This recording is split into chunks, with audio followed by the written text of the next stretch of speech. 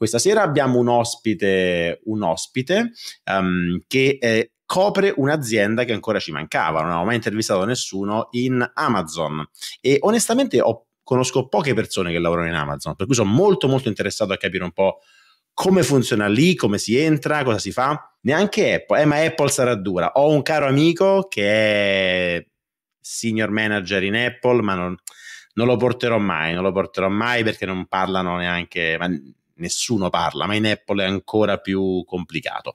Comunque, without further ado, lasciamo entrare il buon Marco. Ciao Marco. Eccoci. Eccoci Ciao. qui. Buonasera a tutti. Buonasera. Marco, ovviamente Marco non parla per Amazon, non è un portavoce, ovviamente questo non serve che lo specifichiamo ogni volta, ma specifichiamolo anche per, per, per, per, rispiegare l'ovvio, il nostro buon Marco Berlò. Bravo, sì. Pronuncia Bravissimo. francese. Eh sì, allora, sì. Marco, mio papà è francese, quindi sì, è un cognome francese. Puoi introdurti? Assolutamente, sì. Uh, sono Marco, uh, ho 28 anni, uh, sono cresciuto in Italia, metà italiano, metà francese e adesso sono ingegnere da Amazon dove mi occupo di intelligenza artificiale, la parte ingegneristica di intelligenza artificiale più che quella di ricerca, uh, che poi potremmo approfondire. Um, nella vita ho studiato in Italia al Politecnico di Torino come per la triennale, ho fatto un anno di esperienza come doppia laurea in Cina a Shanghai. Bello, uh, poi ne parliamo. Sono andato negli Stati Uniti, ho vissuto per sei anni negli Stati Uniti e poi adesso sono due anni che sono a Londra. E, wow. E quanti anni hai? È 28, 29 quest'anno. Eh, vedi. Quando mi, dice, quando mi dicono a me che ah, tu sei, fortuna- eh, sei cresciuto in un'epoca fortunata, io a 29 anni stavo ancora a casa, non con la mamma e col papà, ma stavo, insomma, stavo a casa. Bene Marco, allora vediamo un po', tu lavori in Amazon. Da quanto tempo? In realtà è una cosa abbastanza recente, adesso sono cinque mesi che sono, sono ad Amazon, sì. Ok. Uh, quindi è, è, di recente, uh, ho iniziato qua a Londra. Uh, nonostante sia recente, faccio già un sacco di cose interessanti, quindi c'è parecchio materiale se, se si volesse parlare appunto di... Ok, c'è già chi chiede domande un po' tecniche, ma aspetta, vi, vi sto mettendo in, vi sto segnando i commenti interessanti che poi riporterò.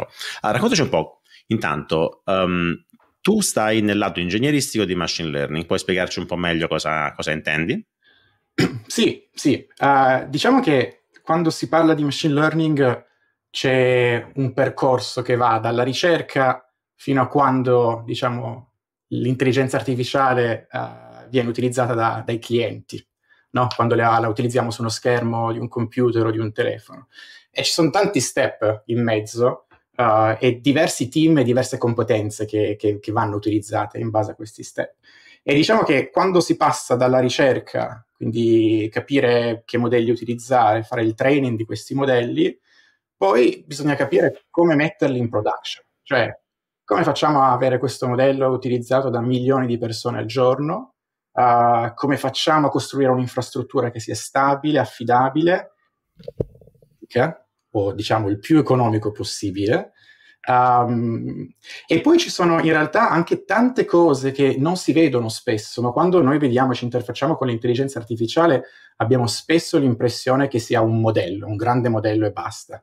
In realtà ci sono tante componenti che interagiscono tra di loro, spesso e volentieri sono più modelli insieme che si parlano, che si, che si mandano delle informazioni in modo molto intelligente e c'è una grossa parte ingegneristica da fare per poter fare questi scambi di informazioni in modo affidabile, in modo veloce e, e questa è una grossa parte diciamo ingegneristica, non di ricerca e ha delle competenze che sono proprio quelle da software engineer, di sistemi distribuiti, di software, di architettura e questo tipo di... Ok, quindi penso che abbiamo un background piuttosto simile, anch'io, insomma, molto back-end engineering eh, e... Hai parlato anche di, di, di serving essenzialmente, quindi come servire eh, come far scalare l'infrastruttura di serving e così via. Quindi tu non stai nella parte di modeling, quindi il tuo background no. non, è, non sei un machine learning engineer, sei un software engineer. Esatto. Sono okay. un software engineer, adesso si utilizza un po', vedo la parola AI systems, dove okay. si cerca un po' di far capire, no, di far capire, dove si cerca di, di, di, di trovare, um, di dare idea del, del, sistema che c'è intorno al modello, di tutta la parte che c'è intorno, uh, dai database, che sono dei database speciali per l'intelligenza artificiale, dai modelli di comunicazione, dall'infrastruttura, uh, da cose anche molto basse di linguaggio come i driver della GPU. Uh, quindi quello viene un po' raccontato come AI systems. quindi diciamo il, il ruolo è quello. Io ho fatto un lavoro simile al tuo per un anno e mezzo tra il 2020 e il 2021, però stavo nel lato training, quindi davo supporto, come dire, infrastruttura per training. Tu non stai nel, nel lato training, se ho capito bene. Anche, ma. Eh, in realtà dipende. Adesso c'è un po' di tutto perché c'è un po' di, diciamo, pressione di far uscire cose perché Amazon uh, si sente che deve far uscire queste eh, cose di, di, intelligenza artificiale e quindi si, si fa un po' di, un po di tutto. Eh, tanto ti chiedo, noi di eh, oggettivamente io personalmente di Amazon e AI assieme conosco poco. Cioè, cosa, cosa puoi dirci che, che, sono informazioni già note, che però magari non, non, non, non tutti di noi sono aggiornati a riguardo. Cosa sta facendo che pubblicamente ha annunciato già Amazon in ambito AI? Sì, allora in realtà ci sono tante iniziative. Una cosa da ricordare, secondo me interessante, è cos'era Alexa quando è uscita Alexa. Perché comunque Amazon ha sempre avuto questa cosa di poter portare l'intelligenza artificiale abbastanza all'avanguardia, molto però economica. Cioè, quando effettivamente era uscita Alexa, era relativamente molto intelligente e costava relativamente poco. E siccome questa cosa continua, mm. adesso ad esempio la nuova offerta sulla quale sto lavorando io si chiama Rufus, uh, è pubblica ma solamente negli Stati Uniti Okay. Ed è un'interfaccia uh, che permette di interagire molto simile a cioè, GPT o Gemini, insomma, le, le, grosse offerte di intelligenza artificiale, però specifiche sui prodotti.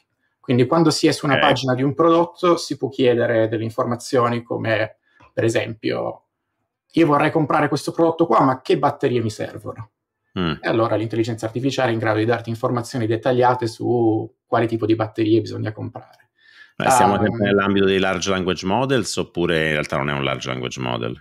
È un large language model, sì, okay. però con, una, con due, secondo me, difficoltà uh, interessanti da affrontare che non tutte le altre aziende hanno. La prima è che è gratuito, okay. bisogna veramente fare un'attenzione sui costi, no? Perché non è che c'è una membership uh, Amazon uh, Plus Gold per utilizzare l'AI di Amazon. Eh, questo è un prodotto gratuito, okay. co- finalizzato ovviamente a, a, far comprare le persone su Amazon. Sì, uh, stavo per dirlo io. Sì, sì, ovviamente sì. Eh, però a livello di infrastruttura ha delle restrizioni, ha delle restrizioni abbastanza importanti, um, perché non possiamo, cioè, non possiamo spendere tutti i soldi che um, magari altre aziende si possono permettere di spendere, o cerchiamo, mettiamo molta attenzione per cercare di non spenderli. Mm. Um, e quindi c'è tanta attenzione su questo. Um, l'altra cosa molto interessante del sistema è che l- la visione, e, e, ci stiamo lavorando, è quella di, di permettere di, di, avere un contesto sulla storia che, ci, che si ha su Amazon. Per esempio, questa domanda sulle batterie, su un prodotto, una persona potrebbe farla su un prodotto che ha acquistato tre mesi fa. Mm. E a livello ingegneristico è complessa come cosa perché bisogna andare a pescare questo prodotto che si è comprato tre anni fa, capire come passarlo alle, all'LLM. Quindi c'è una grossa parte che ha a che vedere con prendere informazioni da sistemi diversi, ad esempio la storia dei propri acquisti o i prezzi storici, una cosa che costava aveva un costo mm. un mese fa e un costo adesso, raggrupparli e passarli all'LLM in una maniera, diciamo, coerente e efficiente. Ok. Okay. Per chi è di mestiere questa cosa si chiama RAG, viene RAG. utilizzata, sì, sta per Retrieval Augmented uh, Generation. Uh, però insomma è una cosa che viene utilizzata tanto, uh, però secondo me ad Amazon stiamo facendo un lavoro molto interessante perché c'è tanta quella che viene detta evidence, quindi tante informazioni che si possono raggruppare per dare delle risposte coerenti. Alle persone che utilizzano l'intelligenza artificiale di Amazon. O, tu dici, Tu dici che gratis, però alla fine è un servizio che se fatto bene, se usato bene, porta molti soldi ad Amazon, non in, non in, termini di subscription esterna, ma in termini di persone che trovano risposte alle domande e comprano cose, no? Quindi in teoria... Sì, è però è difficile di... da misurare questo impatto. Ok. E quindi a livello di, di budget e tutto ci sono dei, dei requisiti... Dei limiti, chiaro. Eh, intanto posso, ti faccio un po' di domande parallele perché molti sì. vedo che in chat cominciano a chiedere ma Amazon o AWS, come se fossero aziende diverse. Beh, eh, no, non sono AWS e Amazon. AWS no? e, e, Amazon, sì, uh, è un'organizzazione a, a, parte dalla mia. Io sono nell'organizzazione adesso di, di, di Rufus, quindi questa, di, di, questa intelligenza artificiale. Um, e sì, AWS fa, fa, parte di Amazon. Usiamo AWS anche noi. E... Chiaro, chiaro, chiaro. E come gestite i casi perché non esiste più il listing del prodotto? Vabbè, immagino, immagino, che abbiano lo storico per cui comunque a creare l'augmented uh, l'input aumentato sia comunque facile lo stesso poi avranno modo di dire non esiste più quel prodotto da, da vendere boh, immagino sì, però questo tocca un punto interessante e che ad esempio quando uno usa um, quando uno magari usa cioè, GPT, uh, adesso non so più, però ti dicevano che era, aveva fatto il training fino al 4 di settembre dell'anno scorso e quindi era ferma lì. Eh, noi non possiamo fare una roba del genere, cioè se uno rimuove il listing da Amazon oggi, noi dobbiamo essere molto efficaci nel far sì che l'intelligenza artificiale Rufus non risponda uh, più con quel listing il giorno dopo o due giorni dopo. E quindi questo è, è, proprio, è proprio, una delle domande che ci facciamo della parte ingegneristica di, di, di come facciamo ogni giorno ad aggiornare questa mm. parte di retrieval e, e, i dati sono tanti, cioè ci chiaro, sono tanti chiaro. prodotti su Amazon. Eh. Chiaro, è che non rifate il training del modello ogni giorno, immagino. No, eh, no infatti. Soltanto il fatto Beh. che il modello va, va, a prendere dati in qualche repository e se non li trova... Esatto. Interessante, sembra poco, sembra poco eh, AI, cioè sembra, sembra, basso il need for AI, eh, perché alcune domande sono molto standard, immagino. Forse la parte di Natural Language Comprehension, quella lì è la parte più complicata, ma cioè, cioè, ce l'avete già in casa. Beh, c'è, c'è, una parte, in realtà la parte di retrieval è anche fatta con intelligenza artificiale. Ti do un esempio. Uh, un, un, progetto a cui sto lavorando particolarmente adesso è la parte multimodale, quindi è permettere di rispondere uh, con delle immagini o dei video. Ok. Quindi, per esempio, se tu uh, sei sulla pagina di un iPhone e domandi e, e chiedi se, se, se, quell'iPhone esiste di colore nero o bianco, eh, noi dobbiamo trasformare questa domanda e andare a vedere tutte le immagini che abbiamo per questo prodotto e selezionare le immagini, diciamo, che rispondono in modo corretto, più rilevante a questa domanda. E questo si fa con una ricerca semantica che è fatta con un modello che abbiamo, quindi in chiaro. realtà non è un if and else, non è una semplice chiaro, chiaro bisogna chiaro. effettivamente trovare la rilevanza è molto difficile da, mm. da, da arrivarci a, ad averla in modo diciamo corretto. E in, questo, in questa pipeline tu cosa fai in particolare? Cosa, qualcosa hai lavorato, se puoi dirci un po' qualcosa? Sì, sì, adesso in realtà ci, ci sono diversi progetti interessanti. Uh, uno è proprio la parte multimodale, quindi capire effettivamente come lavorare con, uh, con le immagini, uh, quindi estrapolare il valore semantico delle immagini con dei modelli esistenti dal nostro team di ricerca. Um, e una parte a cui stiamo anche lavorando è dove salvare questi dati, perché la ricerca semantica funziona in una maniera per cui tu prendi delle immagini o del testo e li trasformi in dei vettori relativamente grandi e ci sono dei database specializzati per diciamo, salvare questi vettori e fare delle, delle, operazioni. E noi ne stiamo costruendo uno che è basato su dei paper di ricerca.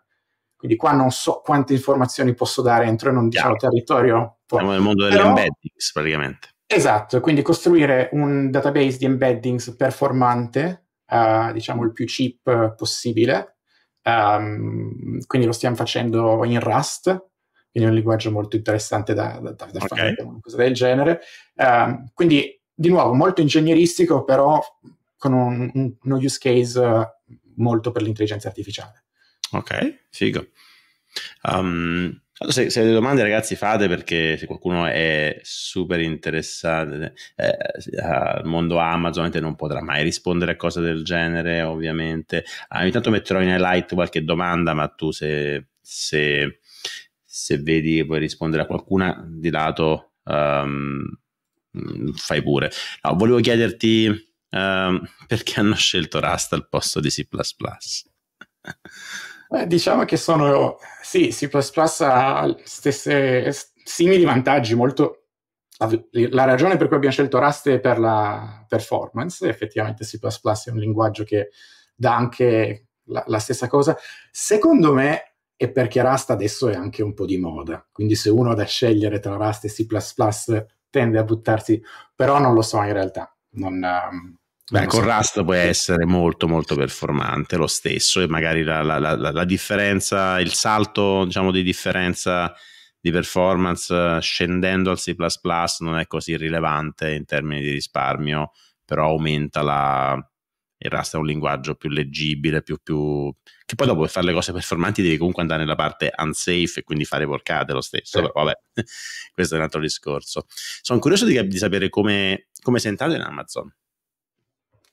Uh, sono entrato. Come è stato il colloquio? Uh, il colloquio per Amazon è stato un colloquio abbastanza standard, uh, nel quale ho fatto um, il solito round di online assignment, che forse questo Amazon è abbastanza unica nel fare l'online assignment. Beh, lo fanno quasi, eh. so che anche Google lo fa adesso, almeno per l'internship, ah, okay. per i livelli bassi lo fa anche Google, poi non so le altre, non lo so onestamente. Però sì, è diventato standard l'OA.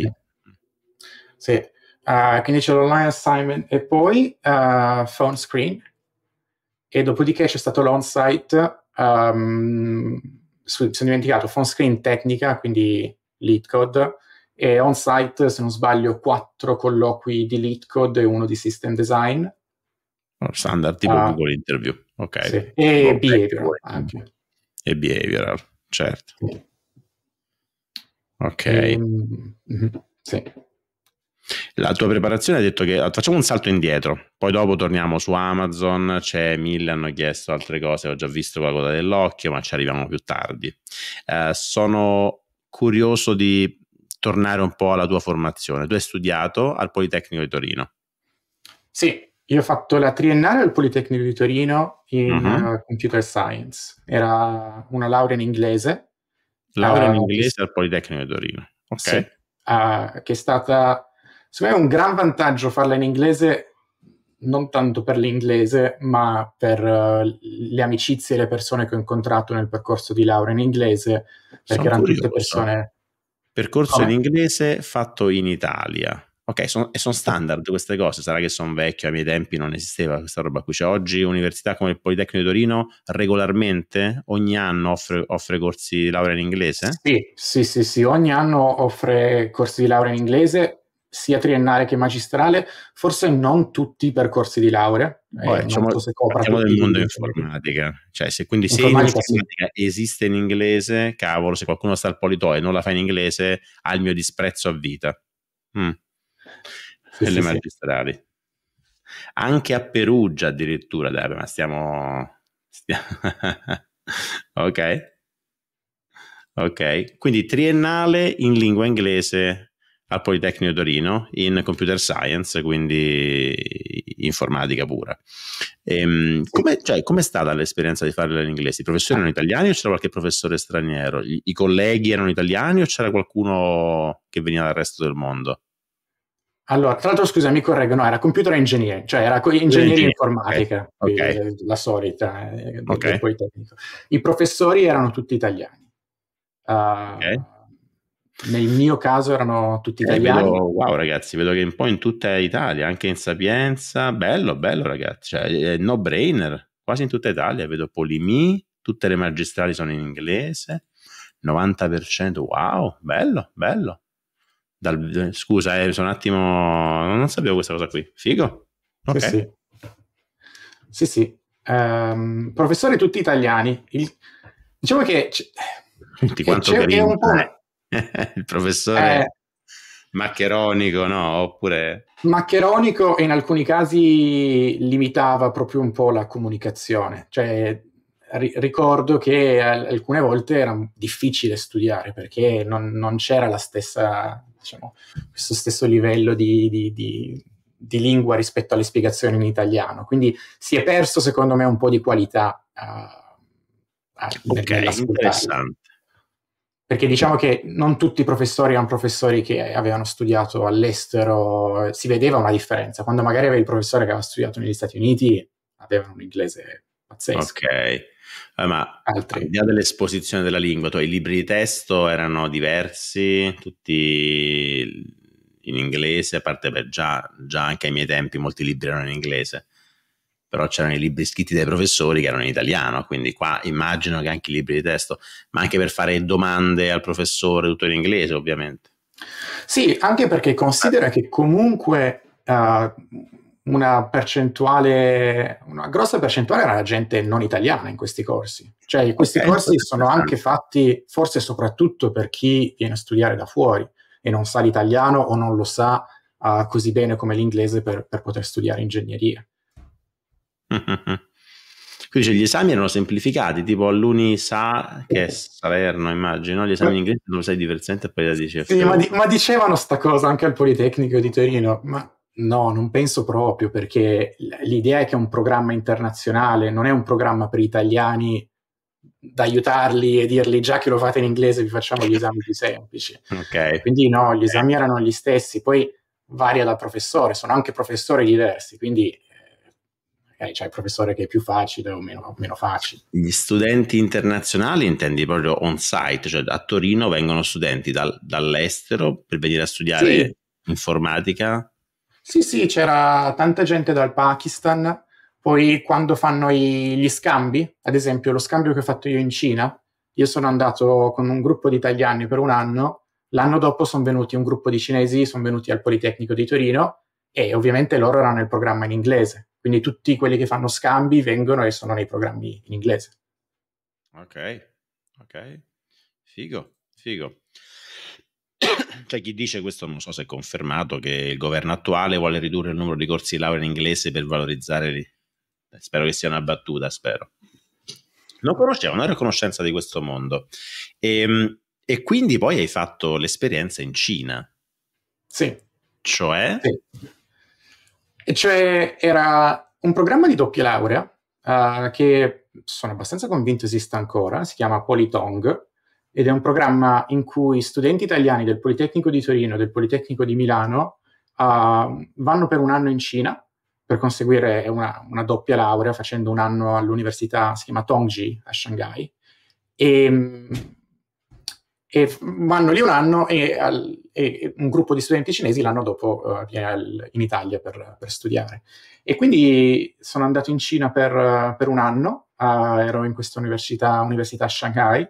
Um, è stato abbastanza, è stato un anno molto interessante perché um, la cosa forse più, più bizzarra di tutte è che avremmo, l'idea prima di partire che saremmo stati a Shanghai quindi ci immaginavamo la grande città, il centro, insomma, oh. far festa, vent'anni. E, e, in realtà poi eravamo nella periferia, proprio a un'ora e mezza dal centro di Shanghai, in un campus enorme, bellissimo. Um, però insomma non c'era l'internazionalità e la, la città cosmopolita che ci, che ci, immaginavamo, invece c'era di più la campagna. Quindi erano tutti cinesi, immagino, cioè, erano dei pochi internazionali. Sì. Sì, al campus erano proprio pochi gli internazionali, soprattutto perché era un campus enorme, quindi c'erano veramente tanti studenti cinesi. Uh, noi eravamo in un dormitorio di studenti internazionali, uh, tanti italiani, c'erano anche dei, dei, delle persone dalla Francia, dalla Germania, qualcuno dagli Stati Uniti, ma c- 50 persone al massimo, se non sbaglio, su migliaia di, di studenti. Spero che tu, tutto il percorso sia stato fatto comunque in lingua inglese. Eh, anche lì, quella la promessa era di, di studiare in inglese. il cinese che sì. parla inglese male. Sì, eh, sì eh, quella è stata una difficoltà. La, diciamo, la... Mentre in Italia, diciamo, la, la barriera di, del, del, linguaggio per un italiano è facile da superare, perché un professore che parla con l'accento italiano, però un professore cinese che parla con l'accento cinese è tosta per un italiano. Quindi ricordo una roba divertente, avevamo un corso di analisi complessa e il professore faceva proprio fatica a spiegarlo in inglese e ci siamo tutti preparati con uh, dei video su YouTube della RAI degli anni 90 dove faceva c'era un professore del Politecnico di Torino, se non sbaglio, che faceva il corso di analisi complessa, era fatto benissimo, però vecchissimo e l'abbiamo passato tutti bene questo esame perché era ce lo siamo che non riusciva a seguire il professore eh, no. no. Fantastico. Com'era la vita, com'era vivere in Cina da studente? Il fatto che sia una società diversa con i suoi noti problemi e controversie ha pesato molto. Soprattutto, beh, Cina, tu hai, visto un angolo, non so quanto poi hai girato, visitato, quanto sei, hai vissuto quell'ambiente, quella periferia. Sì. Uh, Ma allora, ho viaggiato abbastanza mentre ero in Cina, quindi ho visto parecchio del paese, nonostante sia un paese enorme.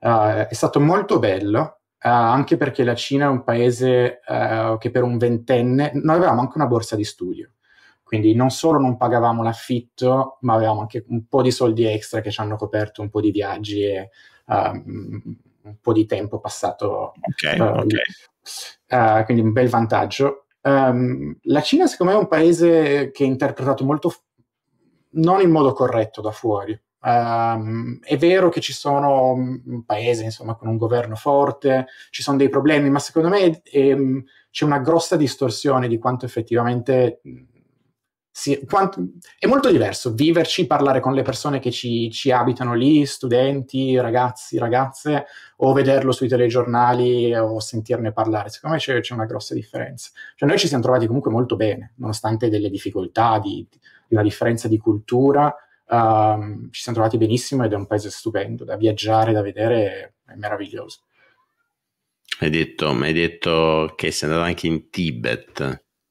Sì, sì, quello era diciamo, un sogno di, di, andare. A me piace molto la montagna um, e volevo andare in Tibet e sono andato prendendo un treno da Shanghai, e che sono agli opposti del paese. Un treno che ci ha impiegato 50 ore, 750 ore su quel treno. Però è stata un'esperienza bellissima perché viaggiare, andare soprattutto nei posti remoti, da non la cinese... Aeriana, cavolo, 50 ore sì. Sono son due giorni e spicci. Sì, okay, sì. almeno un treno uh, solo da 50 cambi, quello è buono.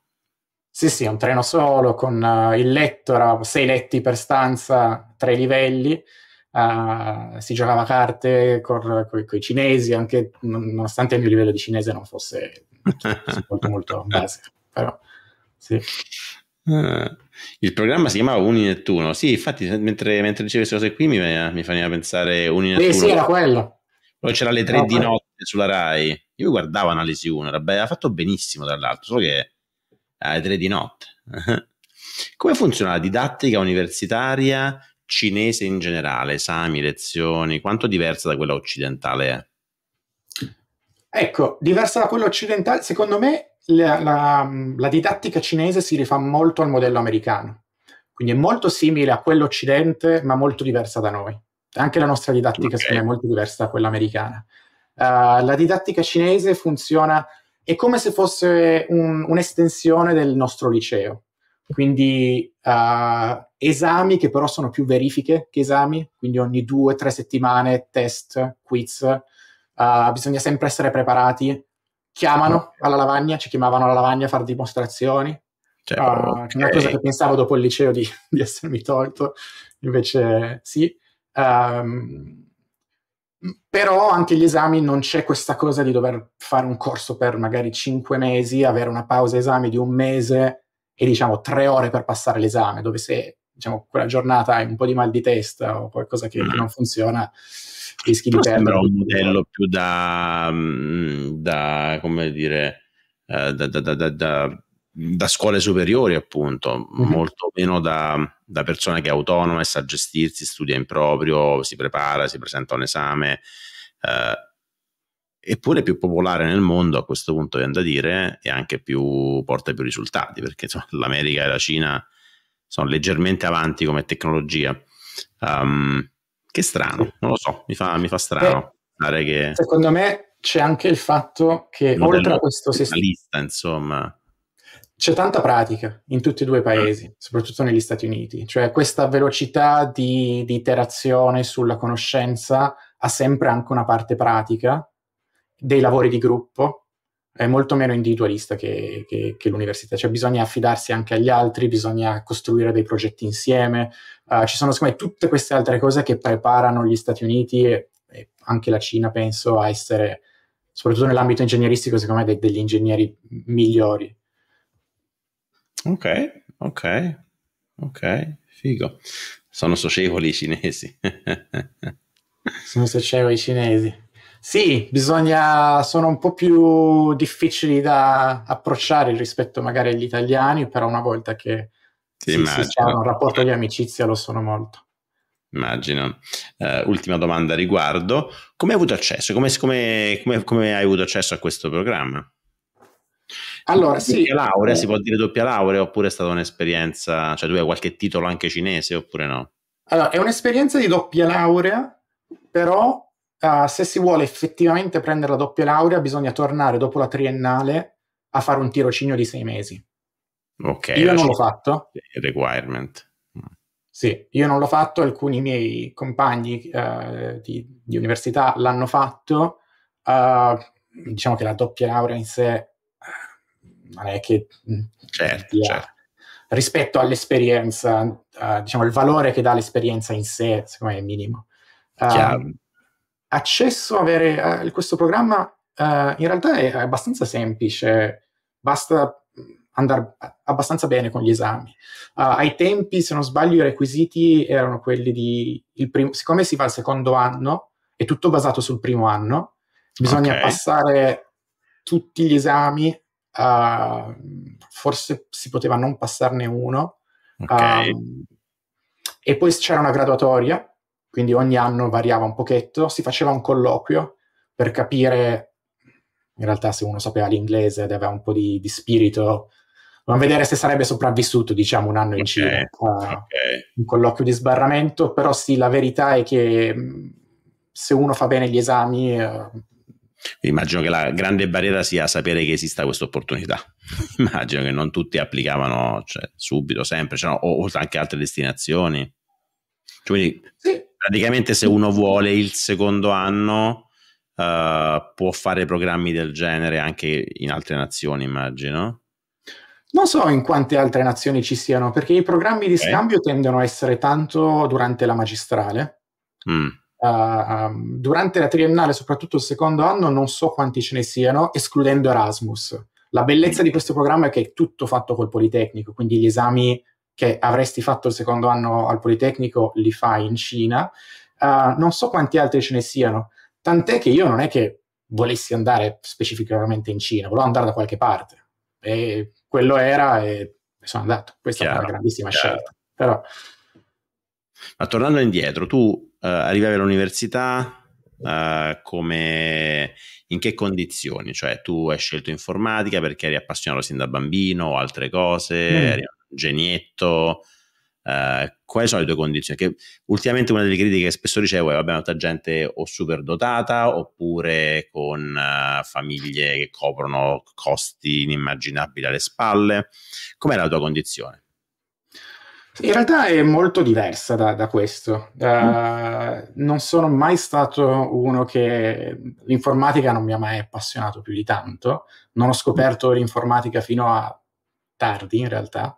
Anzi, alle superiori era la mia, la mia classe, la mia materia, materia che proprio facevo molta fatica perché non mi piaceva, si faceva in Pascal.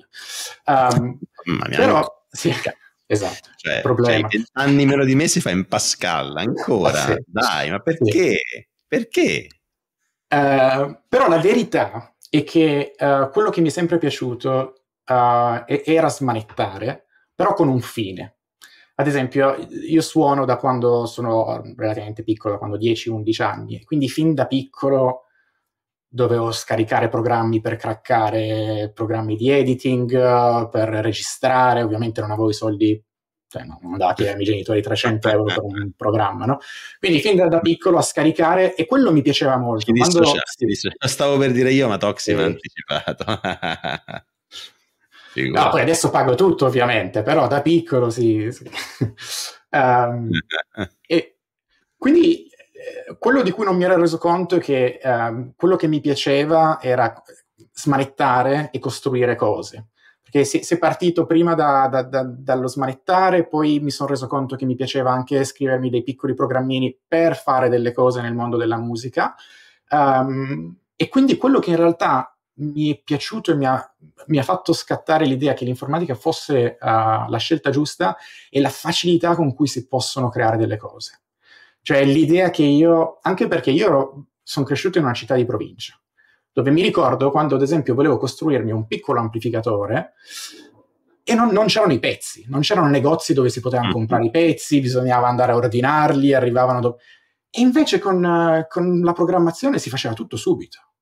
Eh, non dovevo comprare niente, bastava un computer, potevo fare un sito, potevo fare un forum, potevo fare YouTube, c'era... E questo mi ha sempre appassionato tanto, la, la velocità, la facilità con cui si potessero creare cose.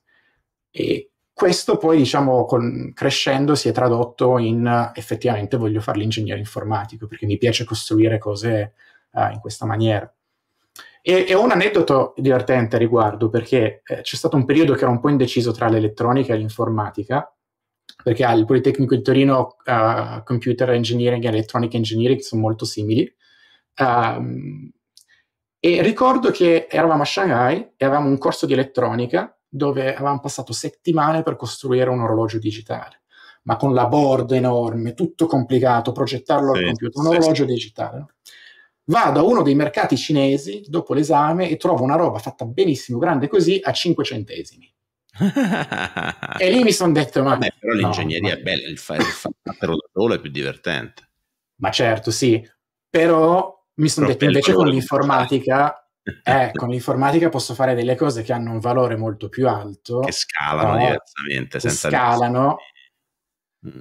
Mentre con l'elettronica faccio fatica, non, e i pezzi, e il laboratorio, tutti i costi. Quindi, insomma, la, questo per rispondere al, alla domanda. E l'altra parte, proprio per questo, non sono mai stato in realtà un genio da Olimpiadi della matematica, non l'ho mai fatto. la professoressa non, non mi chiedeva neanche se volevo andarci quando ero al liceo, chiedeva agli altri. um, andavo relativamente bene, era tipico della media dell'8, andavo meglio nelle materie umanistiche, mm. tra l'altro, che in quelle scientifiche. E, mm-hmm. e poi... E meglio nelle materie poi, umanistiche che in quelle scientifiche, interessante. Sì. C'era qualche passaggio, hai detto, che, hai detto che suonavi, cosa suonavi? O cosa suoni, dottore? Suono, suono una chitarra, chitarra, chitarra jazz soprattutto. Quindi, ok. Sì. okay. In realtà ho un lato molto forte nell'ambito più, diciamo, creativo, umanistico, che però mi sono reso conto Beh, che... Ingegneria e creatività lo esatto, stesso. Esattamente, quello che mi sono reso conto più tardi. Secondo me c'è anche una grossa... Co- forse adesso è cambiato, però quando io ero alle superiori l'informatica era proprio... si vendeva come questo mondo bianco e nero che piaceva solamente ai nerd, era molto noiosa, eh, che in realtà non è così e me ne sono accorto un po' più avanti. Uh, ricordo che la biografia di Steve Jobs mi fece capire un po' questa cosa, cioè che costruire prodotti non è una roba da nerd, ma c'è passione, creatività, mm. visione. Uh, lì mi sono reso anche conto di questo. Questo risponde alla domanda di Mister Nocio, dove arriva tutta questa ambizione? Essendo sei cresciuto in provincia, sei immune alla mentalità provinciale? Eh, forse che, proprio... Che, sì, ti, questo beh, era un po' un meme, però ti, ti, fa, ah. ti faccio una domanda simile, che eh, io sono cresciuto in un ambiente molto provinciale, nel senso sono di Roma, ma è periferia, in famiglia ho avuto... Uh, po- pochi, pochi, ispirazioni, nel senso che la mia famiglia non c'era manco un laureato, quindi era, era così. Uh, questo tu hai avuto un ambiente simile oppure comunque hai avuto ispirazione tra familiari o amici stretti o qualcosa?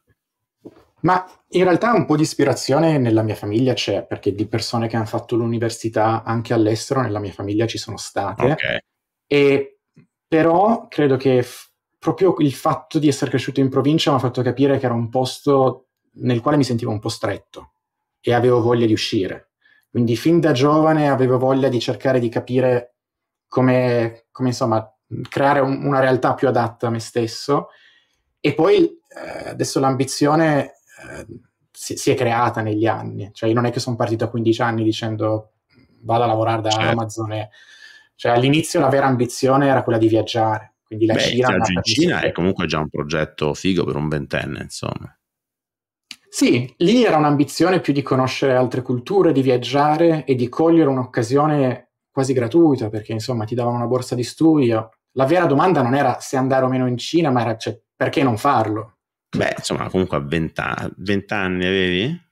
Uh, 20 sì, anni, sì. prendere un anno e staccarti da, non so, magari avevi degli affetti, avevi altre cose, non è, non è facile come scelta. Eh, ma se non lo fai quando hai 20 anni... Good point. E poi non sei più mosso praticamente, no?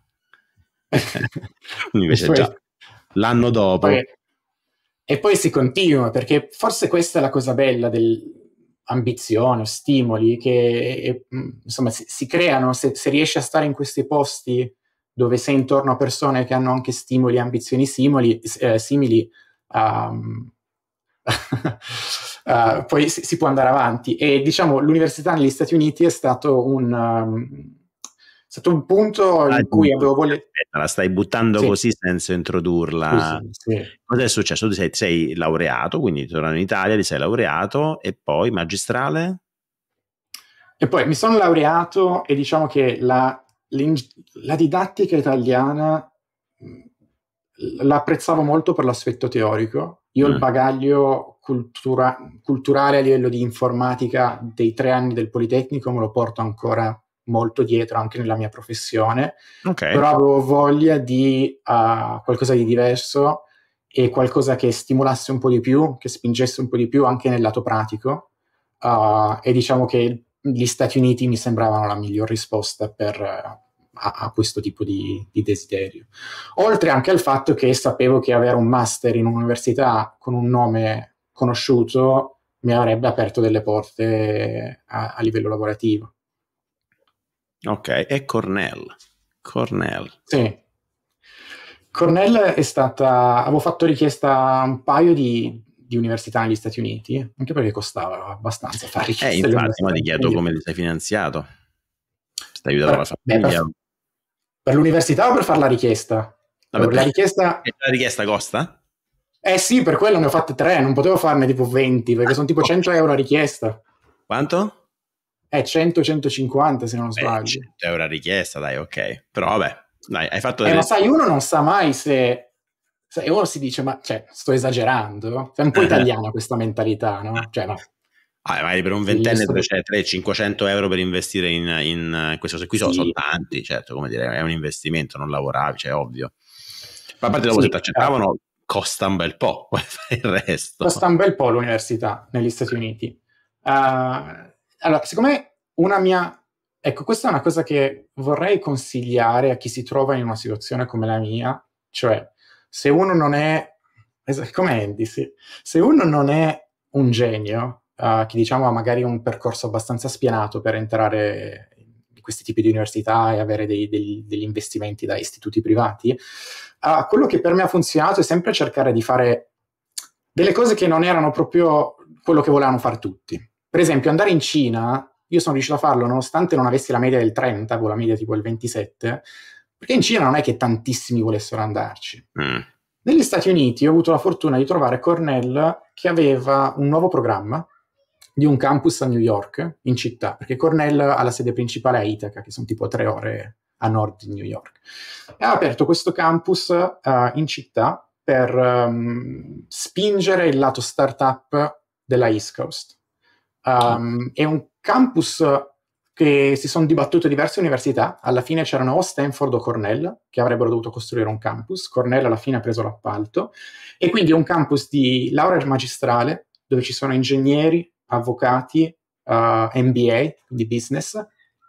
E, ehm, e, oltre alla parte didattica c'è un grosso percorso di cui possiamo parlarne, se volete, uh, fatto per le start-up. Capire come fare start-up, come uscire da Cornell, lavorare e fare una start-up, come entrare in quel mondo.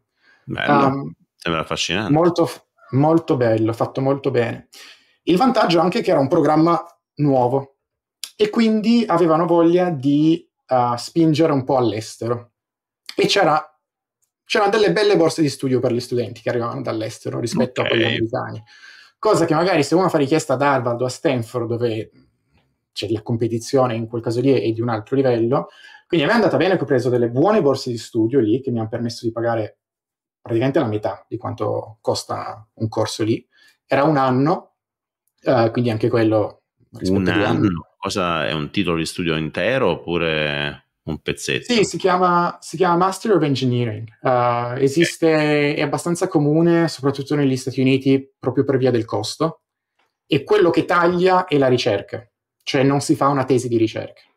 Mm. Perché alla fine quando si fa il Master of Science di due anni, un buon sei mesi sono passati a fare ricerca. Mm. Questo qua è un master che diciamo è fatto per chi vuole andare a lavorare dopo e non si... Beh, però un anno americano significano due trimestri essenzialmente, quindi vuol dire che o, o c'è molto, o so, è molto serrato il ritmo, molto orientato al pratico. Ecco, sono curioso. E, allora, sì, è difficile paragonare, però è molto orientato al pratico. Quindi questa è una cosa che manca molto all'Italia, cioè si studia per cosa. Quindi tu studi il C, studi il networks queste cose, ma non sai mai bene perché, non vedi la visione grande uh, di queste tecnologie. Negli Stati Uniti invece ti dicono tu devi costruire questo e sta a te capire come farlo. E quindi, mm. ti, quindi te da solo capisci che effettivamente devi imparare il Python o devi imparare altre cose. Mm. E questo secondo me dà molto senso uh, perché parti da un problema e ti dai la risposta da solo, capisci il valore di quello che stai studiando, mentre quando ti viene data solo una risposta e forzatamente la devi studiare, magari ogni tanto anche a memoria, Dici, cioè perde un po' di valore. Ok, interessante, sì, è molto americana come cosa. Molto okay. americana. E poi queste università, uh, il fatto che sono comunque delle università rinomate, uh, Cornell è, è, una grossa università negli certo. Stati Uniti, hanno dei, dei, bellissimi contatti con le aziende, quindi spesso le aziende vengono all'interno dell'azienda, uh, ti spiegano quello che fanno, tutti i corsi sono sempre contestualizzati a magari un lavoro che fa l'azienda, che, che cosa stanno facendo e, e quindi diciamo che è, è, molto bello, cioè come esperienza è veramente bella, se uno ha, ha questa voglia qua. Quanto ti è costata questa esperienza? Sono curioso, un anno di, di, di, Cornell in questo programma, magari metà aiutato da borsa di studio, parliamo di qualche decina di migliaia di euro oppure no? Sì, sì, se non sbaglio, quando sono andato io il prezzo pieno era 50.000 dollari all'anno. Ok. Uh, per un anno e di tuition solo. E, solo. Ok, quindi senza neanche e, alloggio, senza nient'altro? Senza, senza nient'altro, senza no. Wow. Senza, wow. Sì, senza nient'altro. 50.000 all'anno, e, mm, però ne ho pagati la metà. Sì. Ok. Più o meno sì. Um, diciamo che l'aspetto finanziario è, è molto difficile secondo me da valutare, perché se visto come un investimento puramente finanziario, penso sia l'investimento più grande che avrei potuto fare nella mia vita, uh, come ritorno economico. Ora, non so se si applica sempre e e anche il... Yeah. C'è un po' di survivorship bias qui, eh, però, però, comunque parliamo di un anno, non il classico percorso da quattro anni e con borsa di studio, quindi costo dimezzato. Sicuramente è molto par- paretiana come cosa, nel senso che hai preso l'80% dei benefit pagando il 10% praticamente. Sì, sì. E, ehm, sì, ed è comunque e, è, una, è, una, cosa che è molto difficile da, da replicare uh, in altra maniera, avere questo nome sul curriculum, questo tipo di competenze, questo tipo di contatti, uh, questo tipo di mentalità, perché comunque ti, ti, ti, insegna a pensare, soprattutto per un europeo, in maniera diversa e questa è una cosa che mi porto ancora dietro uh, e mi porterò, penso, sempre dietro con me. Quindi è, è un grosso cambiamento che si fa da giovane, diciamo una grossa opportunità che si fa da giovane che secondo me va avanti per, per tanto tempo. C'è chi chiede il buon nono Tom, grande nono Tom. Domanda studia, come si fa a ottenere un visto per entrare e studiare negli USA? Mica è difficilissimo ottenerlo, anche perché forse era già epoca, no, non siamo ancora in zona Covid, ma siamo verso fine anni 10, no? Uh, sì, siamo nel 2018, 2017, 2017, sono andato negli Stati Uniti nel 2018, quindi sì, pre-Covid Uh, Trump però c'era, che di solito è un po' la variabile per i visti, chi è il presidente e cosa succede a livello di politica estera. Uh, per, per, visto da studente, di nuovo, queste cose cambiano, però non, non, c'è alcun problema. Se tu sei... La difficoltà è essere accettato in università. mm. uh, e poi pagarla se non si ha una borsa di studio. Però no, il visto poi viene dato. È molto difficile avere il visto lavorativo dopo. Ok, ok. Sono a termine, per cui sono un po' più easy. Mm. Mm-hmm, eh. Requisiti hai detto? C'è un media, un voto minimo? No, non, uh, no, di per sé no. Uh, hanno i loro sistemi di valutazione. Allora, ci sono, ci sono dei requisiti, ci sono degli esami standardizzati tipici americani da dare. Um, quello per il master si chiama GRE, quindi uh, GRE, um, che è un esame di logica, comprensione verbale, si studia, uh, si passa. Insomma, non è che si passa, bisogna prendere un punteggio alto, effettivamente. Per quanto riguarda i voti, è molto difficile perché, ad esempio, negli Stati Uniti è molto facile avere il massimo dei voti rispetto, ad esempio, a un'università mm. ingegneria in Italia. In Italia i 30 non li danno facilmente, soprattutto sui mm. tre anni. Um, quello che secondo me fa tanto negli Stati Uniti è un po' il percorso e, e, la visione. Io credo che il fatto di essere andato in Cina, di aver studiato in mm. inglese, um, tutte queste cose qua abbiano aiutato a raccontare una storia, soprattutto a un campus che aveva voglia di creare persone per il mondo delle start-up, eh, rispondeva un po' al bisogno di, di quello che cercavano. Secondo me è lì dove sta la capacità di andare a trovare queste opportunità come riuscire a raccontare una narrativa per se stessi che effettivamente risponde ai bisogni del campus o dell'università in cui si sta cercando di andare. Parli di startup, ma poi c'è stata una fase anche di, non so, semi-incubatore oppure un tentativo di creare, non lo so, di invogliare qualcuno a fare startup oppure, non lo so, c'è stata una fase sì. di effettivo incentivo? Assolutamente sì. Qualcosa? Il programma è fortissimo da questo punto di vista perché c'è un semestre dove una, una materia, quindi un, un esame, è dedicato a team che creano effettivamente una startup. Ogni due settimane vengono degli investitori e si presenta davanti a tutti gli investitori la propria idea wow. e si ha un feedback reale. Questa materia, tra l'altro, è insegnata da un grossissimo investitore di New York. Um, e a fine semestre, per Marco. quelli che hanno intenzione di, di no, uh, si chiama David Tish. Um, uh, per quelli che hanno intenzione di, di continuare a fare spin out, c'è una competizione e le quattro migliori aziende ricevono funding e parecchio Bello. supporto, dall'ufficio a advisor e un sacco di cose. Quindi diventa effettivamente un incubatore, un acceleratore. A te, a te interessava questo qui oppure in realtà no, volevi tornare o fare altro? O, o domanda, quale follow up hai creato bello, un bel network, hai conosciuto gente interessante, hai cercato co-founder oppure non faceva per te il mondo startup già a 21 anni? No, no, a me interessava un sacco. Uh, infatti io, a parte questa parentesi di Amazon, sono sempre stato molto di più nelle startup che, che nelle no, aziende. Ora ci arriviamo, ora ci arriviamo. Uh, mi interessava molto, il problema è stato il visto. Uh, è molto difficile se sei cofondatore di una startup avere un visto lavorativo ci sono delle maniere, però avevo 21 anni, 22 anni e di prendermi quel rischio anche a livello... Fi- no, in realtà no, non avevo i soldi. Avevo, cioè, avevo dei compagni che facevano i founder e avevano, dei, avevano già lavorato 5-6 anni. Io partivo proprio da zero, non avevo mai lavorato un giorno nella mia vita e non potevo chiedere ai miei genitori di mantenermi a New York oltre la laurea, quindi non, era proprio molto difficile eh, immaginare di fare una cosa del genere. Mm.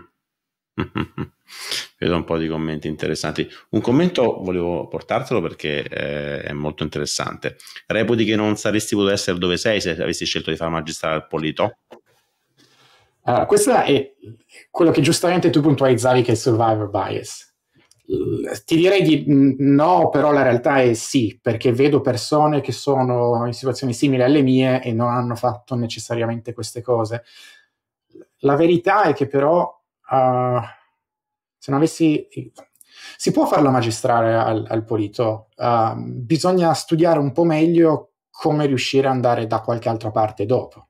Um, e bisogna capire quali sono i propri punti di forza. Se uno è stato sempre al Politecnico di Torino e non ha la laurea a 30 lode come migliore della classe, quali sono effettivamente i tuoi punti di forza per poter raggiungere magari certi posti un po' più selettivi o più competitivi? Se, se, se, uno riesce a trovare questo angolo, allora secondo me si può fare. Per me è stato il viaggiare, essere un po' intraprendente.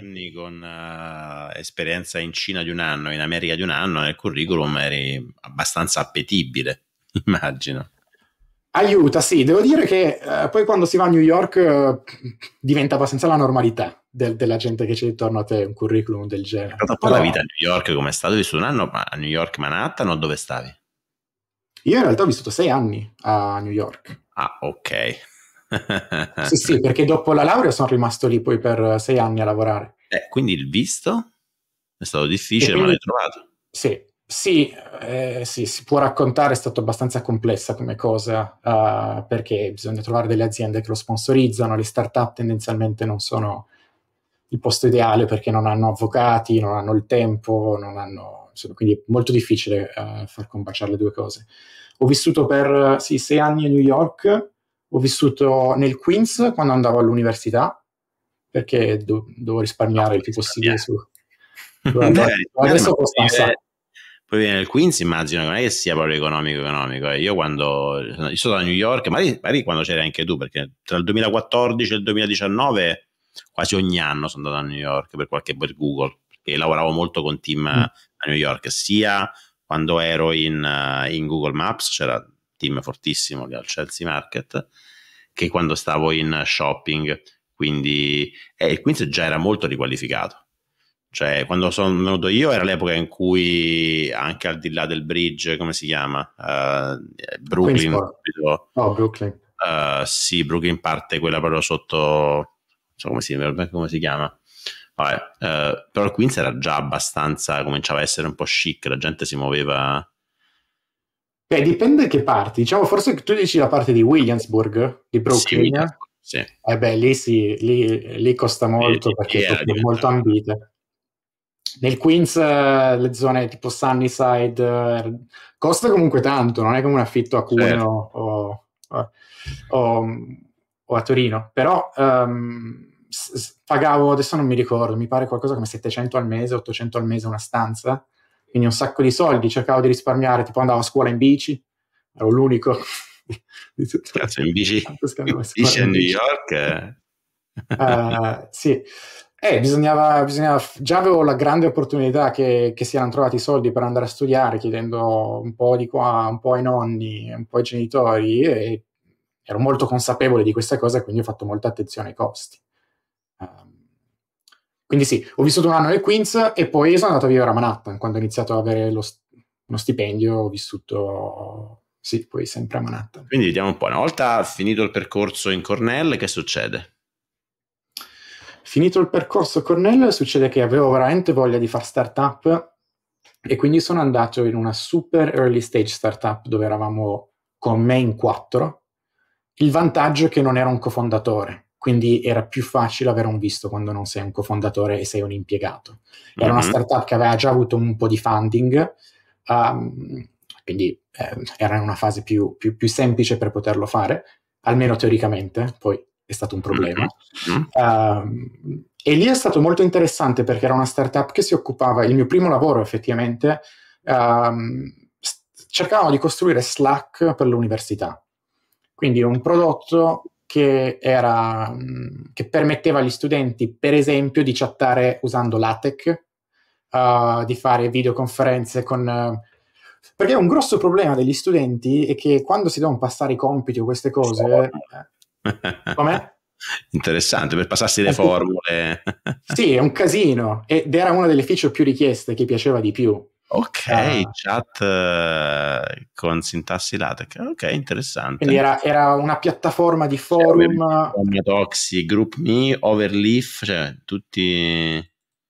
cioè, sì, chi... beh, eh, Overleaf fai solo quello. Il punto era di avere una piattaforma dove avevi tutto quanto, quindi potevi andare a fare le office hours col professore e li facevi in real time, potevi postare delle domande e rispondere, potevi postare in LaTeX e mandare un messaggio in DM con LaTeX, quindi era, era tutto quanto. Ah, Overleaf anche la chat adesso.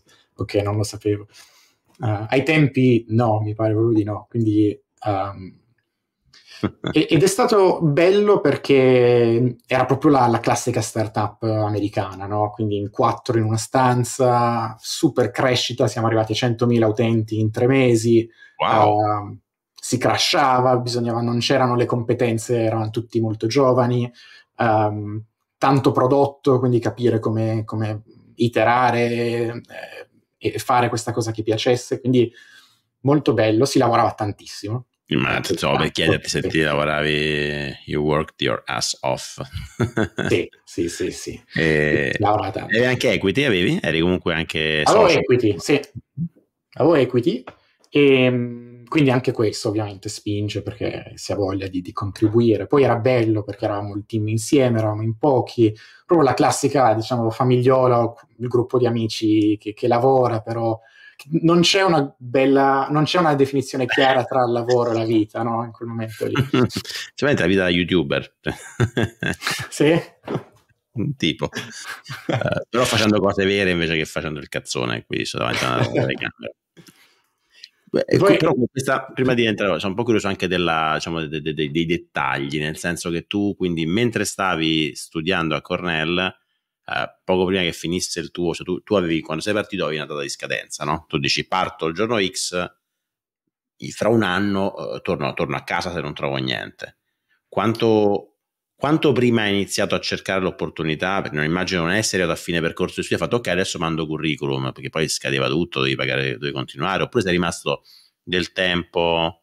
No, no, no. Allora, questo è un buon punto, perché io sono arrivato con una mentalità ancora molto italiana, dove il lavoro si trova effettivamente, cioè si finisce l'università, poi con calma si trova il lavoro, il curriculum, si, certo. si mancano il curriculum e tutto. Eh, arrivo e vedo che la gente a novembre, settembre, quando iniziava, eh, erano già a fare lead code.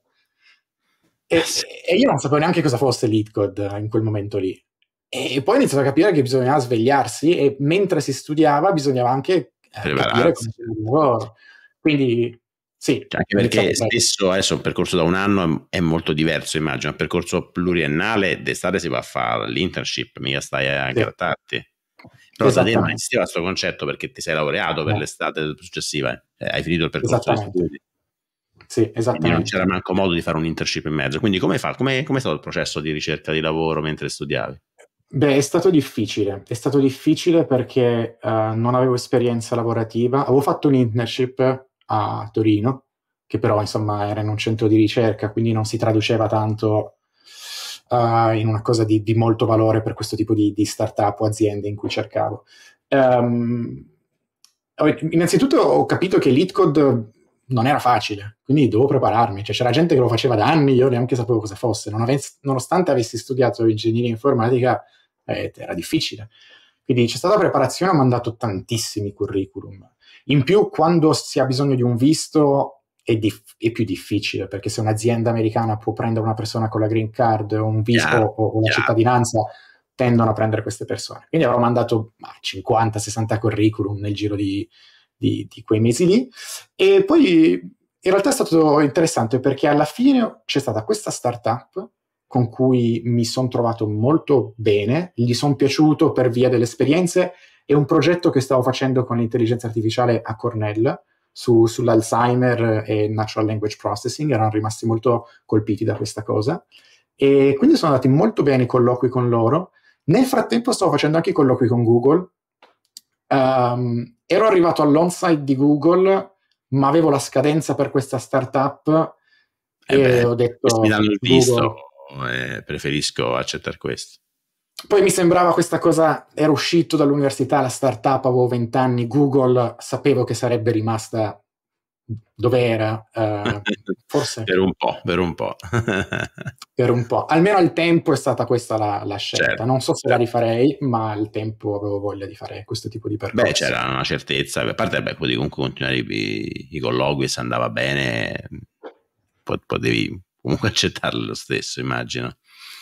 Però sì. la, Uh, quindi questa startup non era affatto, cioè alla fine Cornell non va messo veramente in contatto con troppe aziende. Sì, sì. Non so perché mi sembra un po' uno scam sta, sto master di un anno a Cornell, mi sembra così. Beh, de, eh, è una provocazione, eh? mi sembra. Pensate per gli stranieri, vengono qua, ci pagano un sacco di soldi uh, e è un campus sperimentale che mettiamo da un'altra parte, non è quello principale, selezioniamo quelli che non vengono presi, eh, che non hanno voti altissimi, che vanno negli altri cosi e poi dopo li lasciamo per strada. No? La, la so, l'ho letta proprio malissimo.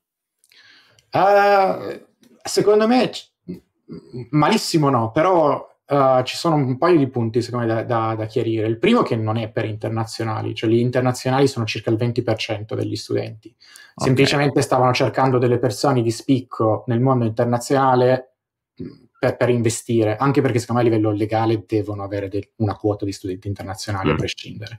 C'è questa parte qua. Il fatto che sia un uh, programma di un anno è una cosa abbastanza comune negli Stati Uniti, so che okay. UC Berkeley anche ce l'ha. Uh, molte università in realtà hanno master di un anno, università con nomi seri. Uh, la terza, uh, quindi il fatto che sia di un anno, considera che là negli Stati Uniti il bachelor è di 4, quindi per la maggior parte delle persone fanno 4 più 1 è uguale al nostro 3 più 2. Semplicemente mm. io me ne sono saltato uno mischiando i due sistemi. Ok. Quindi, e poi in realtà Uh, non so come, cosa ho detto, per, uh, però ci ha messo in contatto con tantissime startup, tant'è che mm. la startup in cui sono andato a lavorare l'ho conosciuta tramite la scuola, erano okay, venuti nel okay. campus. Era stata la mia falsa percezione, ok? No, no, c'era, c'era tanto. Um, in realtà, secondo me, soprattutto per uno, per uno studente straniero che vuole andare a studiare negli Stati Uniti, e tu in un anno hai il 90% di quello che vuoi dagli Stati Uniti. Cioè, andare a fare ricerca negli Stati Uniti. Se però passi tre quarti dell'anno a, a fare lead code e a mandare colloqui, sembra quasi, non dico lo scafista che ti porta sulle coste americane. ah no, però aspetta, No, no, no, le lezioni erano normali, io ero pieno dal mattino alla sera di okay. natural language processing, sistemi distribuiti, cioè no, molto spesse. Okay. Però di sera e di notte devo fare lead code. Uh, c'è qualcuno che dice che ti conosco, Lorcan95. Ok, non so se è tuo amico. Vabbè. Mm-hmm. Eh, non, non, riconosco dal, dal nickname. Ok. Quindi vediamo un po'. Inizia a lavorare per questa startup inizio a lavorare a questa startup e mm, devo dire anche grazie al master che ho fatto avevo delle competenze pratiche, perché io arrivo da Torino e sapevo il C. Meno male che ho fatto JavaScript e Python all'università perché cioè, sa- sa- sarei stato in grado di spiegare la memoria e tutto quanto, ma non sarei stato in grado di costruire un backend perché sapevo il C, sapevo un po' di Java, ma non, non sapevo quella parte finale di conoscenze pratiche per costruire un sistema reale. Uh, sapevo cose molto più complesse, ma non pratiche. sembra la mia storia, sembra. eh, quindi eh, quello, c'è tanto da ringraziare anche per, per quello. Uh, poi il C mi è servito più avanti, però non, non mi avrebbe fatto trovare un lavoro necessariamente. Quindi molto bello, la startup sono stato un anno, grande crescita, uh, super veloce a livello di iterazione, uh, di, di, definizione del prodotto, molto full stack che si va dal back-end fino alla UI e la UX perché non ci sono i designer, perché non c'è un product chiaro, manager, tutto tutti fanno tutto. Bellissimo. Si scopre che alla fine il visto non riescono a farmelo. Mi avevano detto che l'avrebbero fatto, ma mancano tipo un mese uh, che chiude la deadline per fare i visti. Il problema qual è? Che quando tu passi da un visto studentesco al visto lavorativo è una lotteria. Quindi hai tre anni per provare questa lotteria e se dopo tre anni tu non, non, non entri, eh, te ne devi andare. E io non avevo voglia di bruciarmi il primo anno e quindi ho iniziato a cercare un altro lavoro in un'azienda un po' più grande eh, dove, insomma, mm. avevano, av- dove sapevo che avrebbero fatto il mio visto perché ne avevano già fatti altri. Mm. E quindi di lì mi sono spostato a un'azienda di circa 200-300 persone, se non sbaglio, ehm, che è stata una bellissima esperienza nella quale poi ho lavorato tre anni. Posso chiederti il primo stipendio americano di che, di che importi parliamo, se, che range più o meno e, e, come hai fatto l'upgrade nella tua vita una volta preso, cioè, cioè adesso ho uno stipendio, non sto più in Queens sì. in bicicletta ma mi metto restituisco i soldi agli zii che mi hanno prestato per, per studiare, non so, com'è stata la gestione economica del wow, prendo uno stipendio vero in America? Ma allora, io sono cresciuto in un ambiente molto frugale, diciamo, rispetto a quello che ho visto dagli americani. forse mm. non frugale rispetto all'Italia, che è abbastanza comune, gli italiani sono molto risparmiatori uh, rispetto agli americani. Quindi uno stipendio che, se non sbaglio, a New York il primo anno con la startup era 90k. Okay. E non erano tanti, eh, perché comunque un, un, affitto a New York... Uh, sono andato io a Manhattan dove? Uh, con conquilini. Ero um, al primo anno tra la... Uh, dove ero? 41 e terza, no, 51 e terza. Quindi est è abbastanza centrale. Sì. Ok, fino a Columbus dall'altra parte. Ok. Quindi anche comunque per essere Manhattan non è una zona, non è ad esempio il Chelsea Market. Ah, non è la eh, Upper East Side, sei sotto, perché no. sei sotto a 50 no, no, no, sotto, sotto, sotto, molto okay. diverso tra, uh-huh. Sono andato con Conquilino e pagavo circa 1200-1300 al mese Uh, poi con la startup non c'era l'assicurazione sanitaria, quindi dovevo pagarmela io. Cavolo, uh, eri, non dico quasi barbone di Dio, ma con lo stipendio a Manhattan, con anche l'assicurazione sanitaria, ancora eri, for- eri forzato ad essere frugale, dai. Sì, quindi la bici la usavo ancora, quindi non è che ho smesso di, di, usarla. Però sì, insomma, uh, il fatto di poter guadagnare ha cambiato la psicologia del poter andare ogni tanto a mangiare fuori, uh, di, di uscire. Quando ero all'università non uscivo mai perché avevo dei compagni di classe che spendevano un sacco di soldi e, e io non potevo. Te l'hanno fatto l'H1B, almeno nella seconda azienda? Sei riuscito a prenderlo? Sì, sono stato molto fortunato perché, uh, e, e, quello che dicono qua è, è, vera come cosa, sono stato molto fortunato um, perché sono andato in questa azienda e sono, mi hanno messo nella lotteria e sono, ho preso il visto al primo colpo. Spiega un po' cos'è questa lotteria, perché, perché nella startup avevi meno chance? Ah sì, perché quando si fa questo visto che è l'H1B, mm-hmm. um, bisogna mandare un plico di documenti, è un'application, e, e, ha un costo e tendenzialmente si fa tramite degli avvocati. Mamma mia, e lo devi fare tu, non lo fa l'azienda, l'azienda ti, ti sponsorizza. Dovrebbe farlo l'azienda, il problema è che quando è una startup con quattro impiegati che ha un sacco di problemi da fare funding, il CEO non ha effettivamente il tempo e l'energia. In certi casi sì, nel mio caso non ce l'aveva e ehm, te lo finanzia diciamo, molto... diciamo 5k per, applica per conto tuo no? neanche quello devi farlo a, a, a, costo tuo a tutto eh ma comunque hai bisogno che l'azienda firmi delle cose quindi lui dovrebbe creare dei documenti non, non, non potevo fare tutto io Chiaro. E onestamente non avevo voglia, cioè se mi sembrava tutto così a rischio di che qualcosa andasse storto. Però vuol dire che immagino anche che quindi anche il lavoro non ti stava piacendo un po' di meno, perché se no, cioè, se alla fine se quello era il lavoro era fighissimo, uno se la gioca ancora un paio d'anni. O se c'era possibilità eh, di exit con belle, se sei uno degli primi impiegati, c'era anche una... Sì, c'è da dire, sì è vero, c'è da dire che mi sono reso un po' conto che non credevo più così tanto nel prodotto, okay. non stava crescendo come immaginavo sarebbe, sarebbe, cresciuta.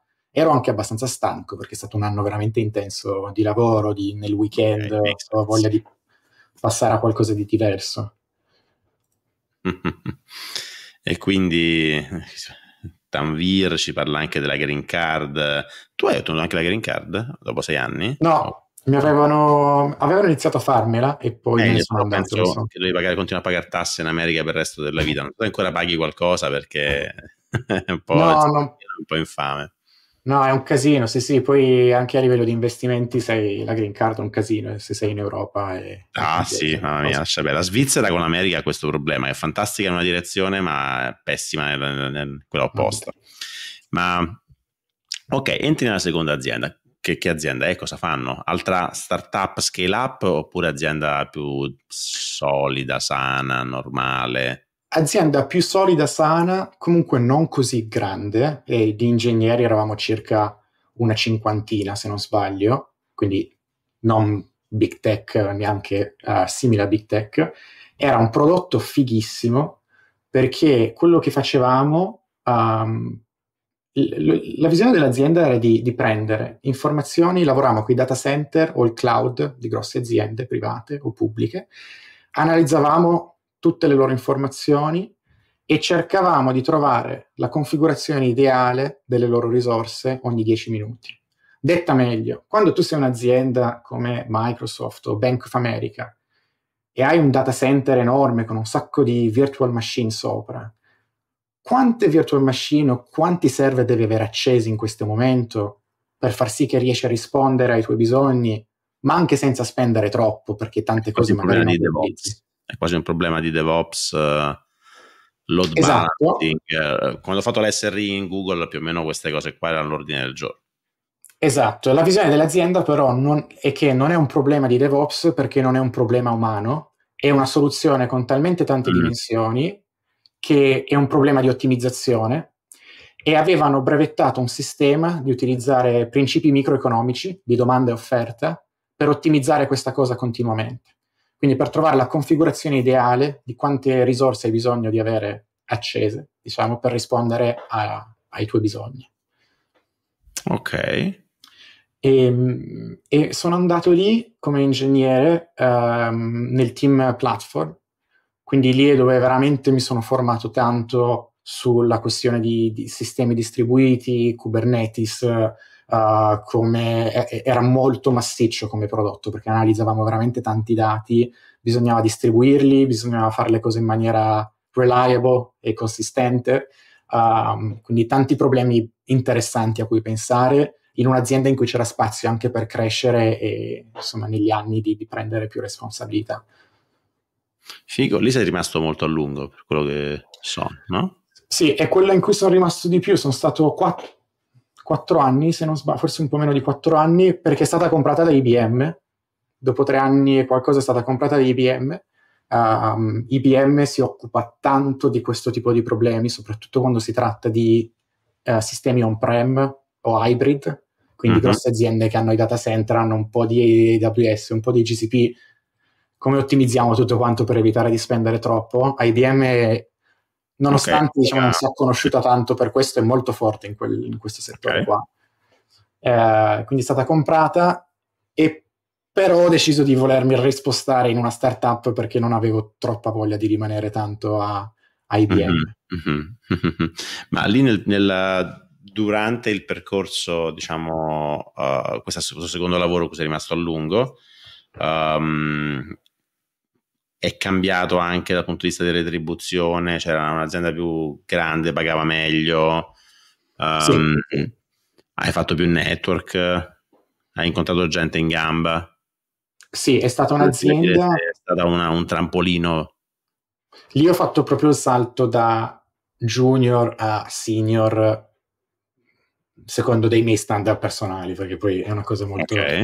da azienda a azienda. Però mentre nella startup è stato, diciamo, il giro di prova nel costruire il più veloce possibile, una buona mentalità agile, uh, partire dal, dal cliente, iterare, anche se le cose non sono fatte benissimo, non importa. Lì ho imparato veramente come si fa ingegneria in modo corretto.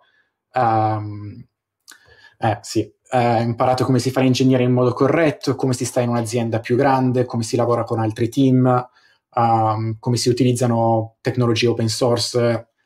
Cioè, usare Kubernetes on-prem non è facile come andare su AWS e avere tutto Spieghiamo che on-prem è on-premise yeah. e si intende cloud o stato localmente. Sì. Esatto, diciamo dove non si hanno tutte queste possibilità che si ha quando si va con un provider come magari Google Cloud o AWS, yeah. dove si premono qualche pulsanti e si ha un sacco di cose, diciamo, pronte quando si deve fare per sé più complesso. What? Questa me l'ho dimenticata. IBM sì, sì. Red Hat. Ah, okay. Dicono che Red Hat che ha comprato IBM per quanto a livello di influenza sia un po' il contrario, però sì. ok, ok. La, lato compensation? Se ti posso chiedere, se poi sei arrivato a, sei, a six digits, spero di sì. Sì, sì, sì, lì sì, lì sì, lì si è cresciuto, poi sono stato più, più tempo, quindi ci sono stati degli aumenti. Mm-hmm. Uh, comunque non erano stipendi colossali come quelli che si sentono adesso magari di big tech uh, yeah. negli Stati Uniti, perché non erano ancora così alti come lo sono stati negli ultimi 3-4 anni, uh, però lì vivevo meglio, lì sono andato a vivere da solo in un monolocale però sono andato a vivere da solo, uh, potevo permettermelo e okay. Quindi si, stava meglio. sì. Niente equity. Sono, sono, anche curioso del fatto di sapere come hai gestito le finanze, nel senso che hai cominciato a vedere qualche soldo, forse hai anche fatto qualche risparmio, investimento per il futuro. Hai, non so se sei stato forzato ad aprire anche account tipo 401k o altre cose, altri pension plan sì, che avrai sì. sparsi in giro per il mondo i, i fondi pensione. Sì. sì. Ma allora, fortunatamente ho iniziato a investire quando ho iniziato a lavorare in questa azienda qua. Uh, mm. Questa è una delle altre grandi fortune che ho avuto in questo master e di conoscere persone che già investivano. Io arrivavo, insomma, cadevo un po' da, da, dall'albero, no? Cosa sono gli investimenti? Mai sentito. In Italia sapevo che c'era quello della banca che gli davi i soldi e lui, insomma, ti, ti diceva dopo qualche anno se andava bene o andava male. Ma arrivavo da questa mentalità qua. E lì ho, ho scoperto il mondo degli investimenti e mi sono messo a, diciamo sì, a studiare, perché comunque sono uno che a, all'inizio anche solo comprare degli ETF mi, mi, metteva del timore perché non conoscevo nessuno in Italia che lo faceva, non capivo, quindi ho, ho preso il tempo per, per familiarizzarmi con, con, gli strumenti okay. e ho iniziato a investire fin dal primo anno a Turbonomic, questa azienda, la seconda azienda. Turbonomics. Um, sì, per quanto riguarda 401k, cioè quindi la pensione americana, l'ho fatta. Crash del Covid appena iniziato a investire, ha fatto boh, ho paura di questi ETF, mettiamo due soldi, boom, crash Covid. Eh, se, sbagli, eh. se non sbaglio è stato tra il 2019 e il 2022. Sì, sì, sì, quindi un po' lo, l'ebbrezza, so che posso resistere almeno a quello. Lo, diciamo che si è ripreso abbastanza velocemente, quindi non è stato anni e anni di, però sì. Dicevi uh, 401k o il sistema pensionistico? 401k è, sì, è sempre stato un po' difficile capire quanto, quanto utilizzarlo perché non sapevo veramente dove sarei stato. Mentre gli investimenti, il fatto di poterli gestire, se sapevo che trasferendomi in un paese diverso avrei potuto gestire lo spostarli, una pensione privata americana che eh, viene utilizzata per una questione fiscale soprattutto. Se esatto. l'azienda non fa il match... Il match, il match e la parte fiscale, insomma, sono... E dipende quanto fanno di match, perché appunto certe volte non è così alto. Certo. Nel mio caso non era altissimo. Uh, mm. Quindi la fiscalità, che ne so, io a 57 anni o non ricordo quanto fosse l'età. Uh, sì, sì. 59. Quello l'ho, eh, 59. Quello l'ho caricato meno rispetto agli investimenti personali. Ok, eh, prendo una domanda interessante di Mr. Nocio, che oggi è molto attivo. Quindi sei più della filosofia prima startup e poi eventualmente big tech, è una scelta che consiglieresti o l'hai fatto per intraprendenza? Bellissima domanda, bella domanda. Eh sì, eh, ci penso spesso. È molto difficile. Allora, da un certo punto di vista, secondo me c'è un grande valore a fare, a fare questa cosa qua, perché ti permette veramente di capire che cosa vuol dire creare un prodotto uh, quando sei in una big tech rischi veramente di perderti a creare progetti, a perderti in politiche, in grandi processi. In una startup vedi veramente che cosa vuol dire fare, fare un prodotto. Secondo me è meglio entrare in una startup early stage dove magari c'è un cofondatore che ha già qualche esperienza lavorativa e sa come gestire un team. Uh, fondare una startup senza esperienza lavorativa secondo me è molto difficile, anche a livello, soprattutto da yeah. lato umano cioè come fai a gestire delle persone, ad affrontare delle difficoltà in un team. Però sì, sì. Perché, diciamo, l'ipotesi fondare startup da neolaureato era proprio anche esclusa da, da, questo, da questa dicotomia, c'era più che altro joinare una startup, cioè ambire a fare l'esperienza startup eh, invece che big tech. Ok. Come si cresce tanto più velocemente in una startup. Ok, interessante, diciamo un po' più avvocato di mh, vai nel, in un mondo grosso, fai soldi, fai nome, fai curriculum, in, conosci persone interessanti, eh, impari tecnologie cutting edge, eh, anche se poi l'ambiente non è delle volte così stimolante, poi magari sei più, sei più appetibile, sei più... però dipende, dipende, è molto soggettivo. Se qualcuno ha la fame agli occhi della tigre da neolaureato, ben venga ben venga. Sì, sì c'è quello e c'è mh, mm, effettivamente a livello finanziario e, mh, mm, la cosa è che la grossa difficoltà sta nel la startup sei molto più dipendente dalla startup. Cioè, la domanda vera dovrebbe essere: è meglio andare in una bella startup o big tech? Chiaramente in una bella startup. Una chiaro. startup problematica? No, ma non puoi saperlo a prescindere. Chiaro, quindi c'è molto più, molto più, rischio in questo caso. Big tech, bene o male. Eh, big tech c'è meno volatilità, cioè stai sì. lì, sai cosa aspettarti. Startup è veramente un. può succedere tu, cioè una startup fighissime sì. da super solide. Chiaro. Esattamente. Chiaro. Perché si parla di BM Cloud se lavori in AWS? Sei in ritardo? Appunto, visto che sei in ritardo, non ti, non ti, rispondiamo. Poi ti chiami AS Music, la musica qui non ci interessa. Tu cosa hai fatto dopo questa esperienza? Dopo questa esperienza, uh, quindi IBM, dopo che è stato comprato, uh, avevo di nuovo un compagno di classe a Cornell che ha fondato un'azienda, una startup, uh, che mi sembrava un'idea fighissima e mi aveva chiesto di andare a essere il primo ingegnere e costruire un team di ingegneri con lui lì. E, um, secondo me questo è una cosa interessante da discutere. L'idea era quella di creare la prima piattaforma di investimento e di mercato uh, per i diritti musicali. Appunto, Quindi, sarà il meme su AS Music sì, esattamente. esattamente. Sì, sapevo che andavamo in quella direzione.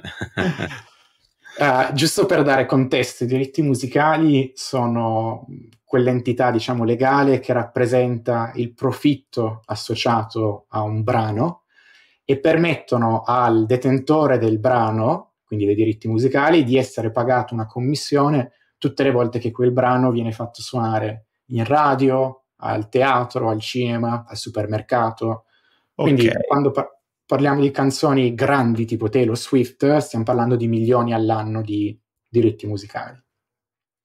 Uh, ad oggi questi diritti musicali sono trattati come delle asset class da grandi fondi di investimento. BlackRock ha comprato grandi cataloghi di diritti musicali. Wow. Michael Jackson ha comprato quelli dei Beatles e hanno litigato riguardo questa cosa. Um, esiste, Justin Bieber ha venduto tanti dei suoi diritti musicali a fondi di investimento. Wow, non lo cioè, sapevo. Chiaramente speculativi, non è, cioè, certo. non è l'S&P 500. Um, Beh, però c'è un cash flow sottostante, quindi speculativo fino a un certo punto tu ah, stai comprando qualcosa e comunque c'è un cash flow. Esattamente. E devi, c'è da fare un po' di value investing per capire quanto fra dieci anni verrà ascoltato Justin Bieber, certo. Esattamente, sì. E poi ci, però ci sono anche degli, degli, aspetti speculativi interessanti, come per esempio brani degli anni 70 che riemergono oggi grazie a una serie TV di Netflix e quindi fanno vero, milioni che non vero. hanno mai visto prima. e poi lui. ci sono anche tu ah, che sono, mi sta parlando il cervello su come possa, come possa essere prezzato il, il come, come, si possa dare un prezzo stimando i futuri cash flow. Figo, no, mi piace. Mm-hmm. E, e, l'ultimo caso che è interessante è quando ad esempio si guardano i profitti di All I Want from Christmas, for Christmas di Mariah Carey, tu parti a novembre, arrivi fino a inizio metà gennaio di ogni anno, salgono e poi sono costanti poi tutto l'anno ed è interessante come, come aspetto finanziario, no? Si possono timing, fare si può fare timing del mercato, posso, si può shortare Mariah Carey al 23 dicembre. Esatto. Esattamente. Quindi l'idea era quella di dire, ok, sappiamo che sono degli asset finanziari, è provata questa cosa sul mercato, però quello che non esiste è ancora la possibilità ai retail investor di accedere a questo mercato, perché ovviamente okay. sono venduti come cataloghi interi che costano milioni e milioni. Insomma, le persone normali, diciamo, non possono accedere a questo tipo di Quindi mercato. Quindi una di asset tokenization, cioè il tipo di me c'era dentro pure la blockchain o no? No, no, no, okay. no, se no non sarei andato.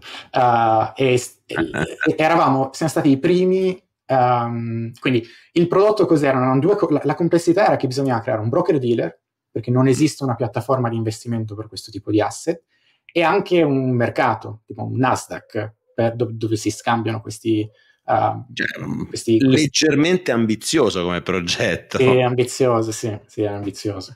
Quindi stavate Però... creando il, tipo l'ex, l'exchange, l'exchange per i diritti musicali. Sì, esatto. Bella idea. La grossa difficoltà era che noi volevamo fare tutto legale, legalizzato. Niente blockchain, insomma, non token che non hanno nessun corrispettivo sottostante. Siamo stati i primi negli Stati Uniti a avere uh, la, l'approval da FINRA, che è l'ente per protezione dei consumatori, Sì. come piattaforma di investimento per i diritti musicali e siamo stati i primi approvati dalla SEC, quindi la SEC, uh, per essere un marketplace di diritti musicali. Quindi il flow era che gli artisti, quando volevano vendere i loro diritti musicali, facevano un IPO tramite la nostra piattaforma, quindi si faceva il marketing, si faceva... Insomma, Wow. tutto Quindi uscivano con tipo N quote, N shares e poi c'era Esatto. un secondario, es- esattamente come una stock. Esattamente, anche la dinamica per cui il prezzo e la quantità delle share si faceva con un, uh, un Market maker.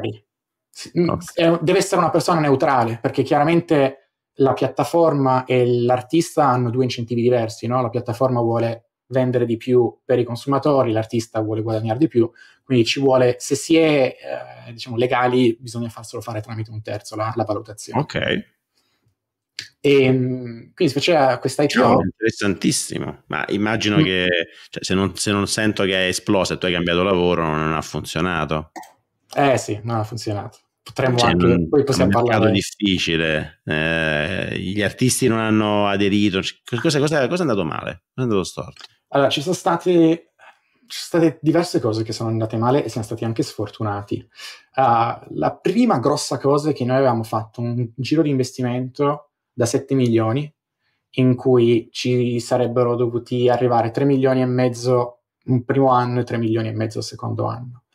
L'azienda, insomma il fondo che, che- che invest- che ci stava investendo è andato in bancarotta. Quindi un po' da un giorno all'altro ci siamo ritrovati senza 3 milioni e mezzo che ci sarebbero dovuti arrivare.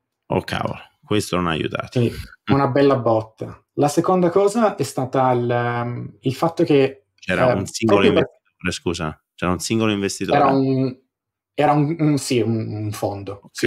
ok. E Ah, questo sì. errore, startup in tutto il mondo. Ci vuole un lead investor, ma deve guidare non più del uh, X per cento. Però 7 milioni in America praticamente è un, è un pre-seed a momenti. Però sì, l'ideale Eh, sì. è che non sia singolo investitore, se no accade una cosa del genere, stai zampe all'aria. Esattamente, sì. E, e poi c'è stato anche il fatto che siccome noi eravamo, um, insomma, eravamo approvati e eh, nonostante non avessimo dei clienti, dovevamo avere eh, in, in banca 3 milioni di dollari tutto il- in qualsiasi momento proprio per essere liquidi. Avevate 3 milioni e mezzo di finanziamento e 3 devono stare fermi in banca. No, perché in realtà quei 3 milioni sono arrivati da altri dopo, non avevamo un lead investor, ma siamo riusciti, siamo riusciti a trovare un altri, ma. Mm. sì, ma il problema qual è? Che consumavamo tanti soldi, cioè questa cosa di dover avere dei soldi fermi in banca, comunque tanti, uh, faceva sì che avevamo bisogno di tanto capitale. Uh, Un requirement FINRA, questo qui, la FINRA voleva che un era requirement FINRA, integrale. Ok, eh, sì, ok. Che, che è molto bello come requirement, è, è strano che però non faccia un'eccezione per quando il prodotto non è pubblico, cioè quando non hai clienti. Ah, ok. Però comunque sono regole loro e va bene. Eh, e poi c'è stata, secondo me, una grossa transizione negli Stati Uniti, non solo secondo me, in cui, per cui gli investitori eh, fino a prima del 2020-2019 investivano ancora tanto sulla potenzialità, sul potenziale di crescita, erano le metriche che gli interessavano di più agli investitori. Ad esempio, quando guardi Uber, Spotify, insomma, tutte queste aziende che non Tesla. guadagnavano, non avrebbero guadagnato, esatto, sì. Tesla fino a ha finito le lettere per fare il round A, B, C, D, e F. Esattamente. Eh, noi costantemente bombardati da profitto. Era la metrica che gli investitori volevano vedere Super. prima di investire. In che anno? Di che anni parliamo? È l'anno scorso. Ah, ok, quindi eh, certo, eh, si chiama innalzamento dei tassi di interesse. Quello è la bolla Vanno dell'AI. bassi, ale, vai, Eh. growth a cannone, investiamo miliardi. Quando i tassi sono più alti, il costo opportunità è certo, ok, chiaro. Quindi ha ha un po' tagliato i finanziamenti per startup molto sperimentali ma vogliono già vedere profitability. Ok, Sì, però era anche paradossale perché giustamente dicevano vogliamo investire su cose più sicure, tutto quanto, però quando si trattava di AI, lì invece era Ah. molto selvaggio come mondo. Cioè lì si investiva veramente in cose molto più sperimentali in un mercato molto più competitivo perché Comunque, uh, c'è stato anche questo problema qua. Era, è stato molto più difficile fare giri di investimento rispetto a, agli anni prima e si è creato questo circolo per cui gli investitori tutti erano molto interessati all'idea, uh, però volevano vedere delle metriche di lancio, quindi quanti clienti potevamo avere. Pensare, quanti... Mi viene da pensare che il uh, mondo AI, i finanziamenti vanno su qualche zero in più e quindi hai diversi tipi di VC mentre il vostro mondo è quasi considerato private equity più basso, quindi gli investitori interessati eh, con target di fundraising più basso erano diversi tipi di investitori, magari dei club deal, dei, dei, gruppi di private equity investor, angel investor, che non so, non è Sequoia, non sono dei VC firm, così a cavolo. Ok, quindi è più difficile per assurdo alzare 5 milioni con un, pro- un prodotto uh, meno, se vogliamo, hot rispetto a keyword del momento, che però riescono a tirare su decine o centinaia di milioni. Assolutamente. E sì. poi, funding team, voi non eravate gente, personaggi di spicco, avete esperienze, immagino, non lo so, però erate giovani. Eravamo giovani. In realtà siamo riusciti ad avere un personaggio di, sti- di, di spicco che è stato menzionato nel, nella chat, Uh, qualcuno ha parlato del fatto che Taylor Swift uh, avessero, insomma, ha avuto un grosso litigio con il suo ex manager. Uh, esatto, questo vecchio manager era nella board, si è riusciti a averlo nella board della okay. startup. Si chiama Scooter Brown. Okay. Fondamentalmente quello che è successo, ma che in realtà succede a tanti artisti, quindi dipende un po' come si racconta la storia, però quello che succede agli artisti è che quando sono giovani, pur di avere un investimento nel presente, danno i diritti musicali che al, in quel momento non valgono tanto uh, per un cash flow in quel momento, poi questi artisti crescono e si rendono conto di aver fatto magari non un errore, ma eh, che li rivogliono. E Taylor Swift è talmente enorme che ha potuto riregistrare i suoi CD per riavere i suoi diritti musicali e chiedere ai suoi fans di, di, di scrivere. Sì, tra l'altro anche Scooter Brown eh, c'è stata questa cosa, come personaggio sembra che abbia qualche problema infatti non è stato così, diciamo, attivo nella nostra board come mm-hmm. aspettavamo sarebbe stato. Il suo obiettivo era quello di trovare degli artisti uh, che, che, avrebbero firmato con noi per fare le IPO con noi, ma anche lì è andata... Ok, ok, quindi questa è un'esperienza molto fresca, cioè nel 2024 sì. ancora stavi lì. Eh. È finita, è andata, sì, è finita verso il dicembre, novembre l'anno scorso. Ok. E quando è che ti sei, cioè, hai deciso di guardarti attorno e hai cambiato anche nazione? Finita Ma questa in realtà, sì, questa mi ha permesso di spostarmi, mi sono spostato mentre lavoravo a questa azienda qua. Uh, l'idea era di creare un team qua a Londra, avevo trovato, avevo iniziato a lavorare con un mio caro amico che avevo conosciuto in Cina, che di nuovo il contatto di queste comunità molto utili che è venuto con me, abbiamo fatto un bellissimo lavoro a livello di ingegneria insieme. Um, e e poi quando insomma son, hanno iniziato a finire i soldi e si vedeva che non si andava da nessuna parte, si ha, si, ho aperto l'Itcode e ho iniziato a Hai fare. Sì. E la scelta di abbandonare l'America è stata opportunistica, se hai trovato di là oppure era comunque ti ridotto le scatole o c'era la parentesi americana era chiusa o cosa... In realtà è stata una scelta che ho fatto con la mia ragazza um, che il, il, il, punto di partenza è che volevamo lasciare New York per provare qualcosa di nuovo prima di fermarci da qualche parte.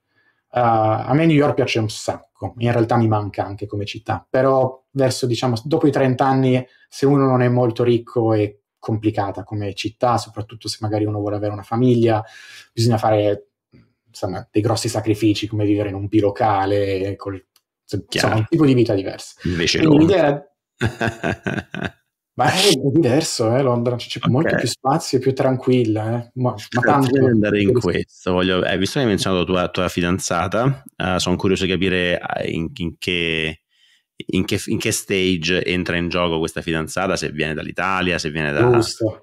Da romantico avrei dovuto dire che eh, avendo investito nell'università è lì che l'ho incontrata. Quindi no. la cosa più bella dell'università americana è stata la fidanzata che ho ancora adesso. Ah sì, l'hai conosciuta all'università? Ci siamo conosciuti facendo un paper di machine learning insieme, un progetto okay. all'università. Sì, uh, ci siamo conosciuti a Cornell, lei è americana. Ok. Um, Quindi, Quindi per lei andare via dall'America comunque per lei è espatriare, non è tornare a casa o andare da un'altra parte. Per lei è... Esattamente, sì. Per lei è, è, stato di, è stata una scelta di andare fuori dal paese. Um, diciamo che appunto l'idea era di lasciare New York, più lei che io volevamo, voleva lasciare New York. Diciamo, le, le, due cose più papabili erano la West Coast, per ovvie ragioni di, di carriera e diciamo di, di possibilità di vivere in una realtà un po' più residenziale, lasciando stare i costi. Eh, infatti, dire, non, è che è meno dif- non è che è meno facile. eh, credo no, che a New York sia comunque un, un, un, salto di qualità, anche come qualità della vita in generale, se sei over 30, se vuoi far famiglia. Sì. Sì, e devi lavorare in big tech o in una startup eh, che va molto bene per poter permetterti uno stile di vita normale, cioè una casa eh, perché costano tanto. Poi uh, proprio per queste ragioni qua non si ti aspettava. no, poi eh, proprio per queste problematiche abbiamo deciso di no um, e diciamo avevo voglia di riavvicinarmi un po' alla famiglia, almeno per un po' di tempo. Um, e quindi l'idea di avvicinarmi in Europa era qualcosa che, che mi interessava, anche lei aveva voglia di, di provare a vivere, a vivere in Europa e Londra diciamo che si, si, trova abbastanza bene come ponte tra gli Stati Uniti e l'Europa, uh, sia per l'inglese che a livello di carriera. Posso dire che no, no, sto dicendo che dopo, dopo che questa è stata generazione per i prossimi mesi è poco credibile. È vero. Eh? Sì. Eh, vabbè, eh, ragazzi, io Zurigo è Zurigo, ma New York e San Francisco comunque se la, come dire, se la, anzi, credo che New York, Manhattan sia peggio di Zurigo come costi. Per, la, per l'alloggio penso che, penso che sia molto peggio di Zurigo. Solo l'alloggio, per il resto è molto tutto più economico, ma l'alloggio è fuori di testa. Mm, sì. Cioè, qui trovi, io vivo in un appartamento di 100 metri quadri a Manhattan, cioè, non lo so, no. non so manco prezzarlo, quanto lo paghi? 8.000 al mese, 10.000 al mese, appartamento di 100 metri quadri. Eh, ma adesso, se non sbaglio, il prezzo medio per una one bedroom a Manhattan sei sopra i 4.000. Porca miseria, no, medio. è decisamente più economica l'affitto. Mm. Sì, quindi è... poi vabbè c'è anche l'inflazione che, del dollaro che ha, cambiato tanto i prezzi negli Stati Uniti, però ah, sì, è molto caro. Uh, e quindi eh, sì. Baracca e Burattini e quando è che vieni, quando è che torni in Europa? Europa? Sono tornato un anno e mezzo fa adesso, sì. Un anno e mezzo ah, fa in Europa, giusto? Ah, ok, ok. Ok, pensavo che erano meno mesi che lavoravi in Amazon, invece è un anno essenzialmente. No, in realtà sono, eh no, perché ho fatto la startup, l'ho fatta un po' a New York e un po' a Londra. Ah, ok, ok. Un po' di, di, di, tutti e due, perché eravamo in pochi, eravamo remoti, eravamo in due a Londra. E ok, ok. Quindi non è stato il cambio per Amazon, ma ti eri no. già spostato. E no, poi Amazon sempre a Londra. Okay. Poi Amazon sempre a Londra. Uh, sì, l'idea era dopo che avevo finito la startup, ero un po' stanco del, della volatilità, del non sapere la direzione dell'azienda, quindi noto che la mia vita è un po' un passo da un'azienda più stabile a una startup, a queste cose, quindi l'idea era di provare a, a vedere com'era la realtà in una big tech vera, perché IBM, ok, non dovrei dirlo così, è molto brutto, però diciamo IBM forse non, non ha questo tipo di cultura così, diciamo, rapida e innovativa che magari... Ah sì, cioè non è famosa per questo. esatto, altre aziende hanno. Um, e quindi avevo voglia di provare. So che a Londra, sapevo che a Londra ce n'erano diverse e quindi mi sono messo a fare colloqui. Dai, rispondo al volo non so ragazzi, non sapete, se seguite qualche mio video, sapete, io, io pago molto poco, ma perché sono una casa, eh, sono entrato anni fa e quindi pago poco, pago 2004 di affitto per un 100, 110 metri quadri, quattro stanze, e però il prezzo di mercato adesso di un appartamento identico è sui 4.000 e 4.500, per cui io sono sotto costo, tant'è che infatti il, il landlord sta valutando se buttarle giù e ricostruirle. Qui a Zurigo ci sono delle leggi, cioè gli affitti non te li possono alzare così de botto senza senso, uh, solo in caso di renovation. e, mh, oppure se appunto buttano giù e ricostruiscono, cosa che stanno facendo un po' ovunque. Zurigo dovunque vai vedi le, le bare attorno alle case che sono tipo dei paletti che indicano la nuova dimensione dell'appartamento dopo che lo buttano giù e lo rifanno e quindi attorno a me parecchie case vecchie le stanno ributtando giù, quindi probabilmente arriverà la mannaia prima o poi. Eh, però Zurigo, ecco, ormai costa un K a stanza, uh, tre stanze 3K, quattro stanze 4K, la mia è una 4.5 considerata, quindi trovi 4.500 al mese, franchi svizzeri. Qualità della vita Londra versus New York? Così rispondiamo anche eh. a com'è, com'è vivere a Londra dal punto di vista del lavoro, lato finanziario e vita di tutti i giorni. Diciamo, diciamo, ti faccio domande sulla vita a Londra.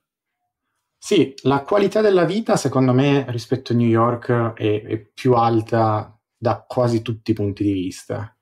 Eh, Londra è una città decisamente più tranquilla, con molto più verde, uh, molto più in qualche modo a misura d'uomo come essere umano, cioè c'è più spazio. Uh, New York poi New York di solito si parla di Manhattan perché c'è poi una New York, diciamo, eh, del Queens più profondo, del Bronx, di Staten Island, che è una New York diversa, ma qua diamo per scontato il centro. Infatti il cheat è che spesso Zurigo risulta più cara di New York perché New York c'è altro oltre tutta Staten Island. Diciamo che uh, se prendi solo Manhattan è più cara di tutte, tutte le altre, batte tutto. Eh, esatto. Lì la qualità della vita è più bassa perché sei circondato dal cemento, dal casino, da...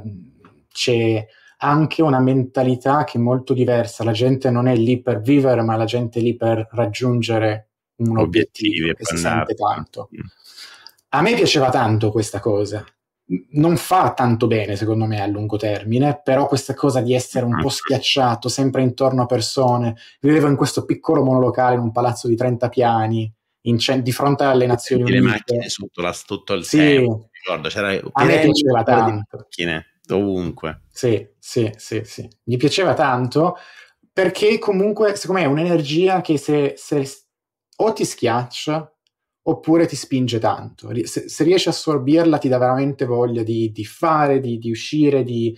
è tutto molto più vicino e quindi vado nei lati positivi adesso di New York. Perde la qualità di vita, però l'energia Manhattan, tutto gravita intorno a Manhattan, quindi io andavo veramente in bici ovunque, si fa anche a Londra, ma è molto più sparsa come città, mm. quindi potevi uscire con gli amici, andare a un evento, andare a una conferenza, tutto molto vicino, veloce, uh, che era entusiasmante come cosa. Ma come è stato vivere il lockdown a Manhattan? Eh, quello è stato abbastanza duro perché ero in un monolocale eh, sono stato un anno e mezzo senza tornare in Italia, senza vedere la famiglia, senza vedere nessuno.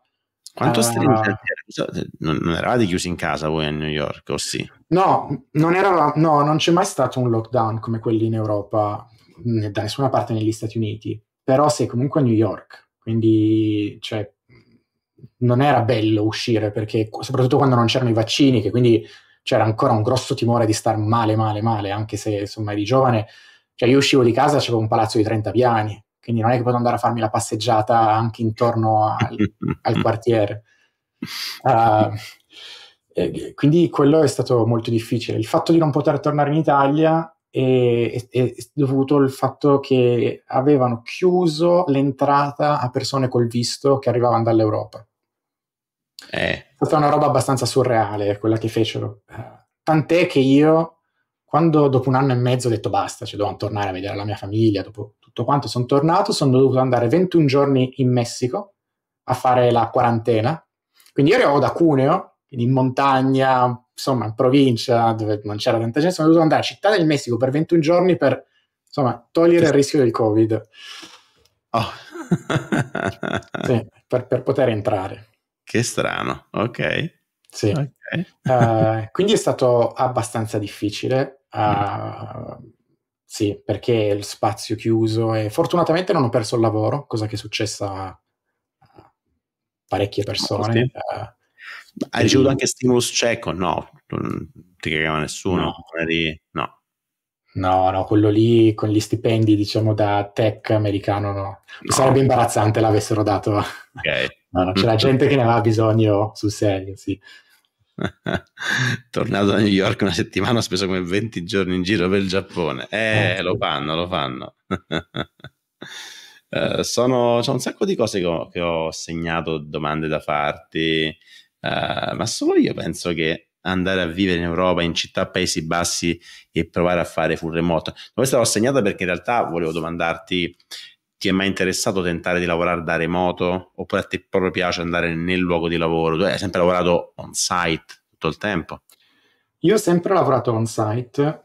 Uh, allora, ci sono due cose da, me, da, da, da, vedere qua. La prima è che um, non è tanto il lavoro da on site, ma mi piace stare in città dove posso partecipare alle opportunità, dove posso conoscere le persone, dove insomma si crea questo, questa situazione dove posso allargare e crescere le opportunità, far crescere le opportunità. Uh, lavorassi da full remote anche per la migliore azienda del mondo, un, per esempio da Cuneo, il momento in cui quell'azienda non c'è più o io non ho più quel lavoro, è molto difficile. Puoi incontrare persone, certo. È molto difficile. Eh, però a me piace vivere in città grandi, internazionali, con uh, la possibilità di conoscere gente da tutto il mondo, quindi, mm. nonostante capisco che ci sia un tenore di vita migliore nelle città piccole europee, ad ora non è quello che, che vorrei fare. E quindi Londra ti piace? Ti trovi bene? Sì, sì, sì. Mi manca un po' questa dimensione molto energetica che aveva New York, però è molto più uh, vivibile come, come città. Uh, davvero, c- costa costa tanto, però comunque si, non è più un monolocale veramente minuscolo che avevo a New York, uh, c'è più spazio, c'è più, verde, c'è più parti. Sono a nord, zona 2 a nord. 2? Ok. Ah, zona 2, sì. Okay. Verso la zona 3. Ok, ok. E immagino che in Amazon però a livello di salari sia stato un salto in alto, anche se l'Inghilterra storicamente anche per Google pagava molto poco rispetto diciamo, a parità di livello con tante altre realtà.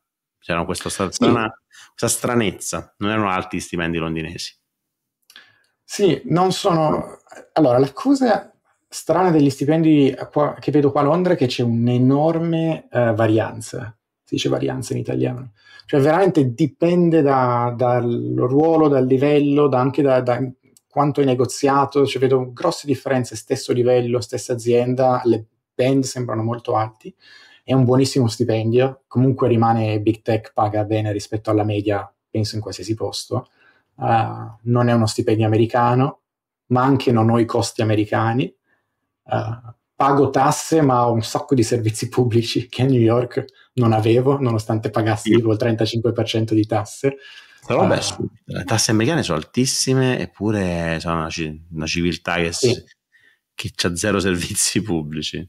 Sì, beh, altissime a New York e in California, fuori non so quanto siano alte, in certi posti sono... Eh, è, è lì che è prodotto il grosso del PIL, per cui... Hm. Sì, sì, non c'è nessun servizio. sì, no, è vero, non c'è nessun servizio pubblico, o proprio poco. Beh, la metro di New York, dai, eh, applausi alla metro di New York. sì, sì, ma comunque costa. No, non è che tra... Sì, c'è la metro, è vero. Però preferirei gli ospedali o la sanità. Oh. Sì, stavo, stavo, stavo per dire la stessa. Ti senti più sicuro a, e tranquillo a Londra o a Manhattan? A Londra, sì.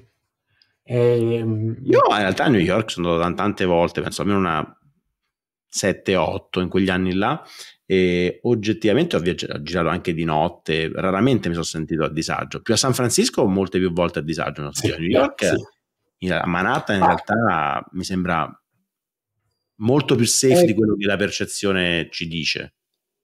Ma infatti, allora hai ragione, io ho viaggiato tantissimo a Manhattan di notte, anche in zone più difficili, non mi è mai successo niente. Il motivo per cui dico che è più pericoloso è che comunque di episodi di sparatorie succedono con una regolarità che a Londra non esistono. Okay. Parlo di sparatorie, ten- il grosso problema degli Stati Uniti sono le persone con problemi che vivono per strada. L'accesso alle armi in un paese in cui le armi sono comunque legali in una maniera o nell'altra è molto più facile. Quindi avere i senza tetto nella metro con una pistola e che, che, succedono queste cose. Io so di un ragazzo delle mie zone, tra l'altro delle Langhe, che stato preso mentre tornava dal caccetto la domenica sera e gli hanno sparato.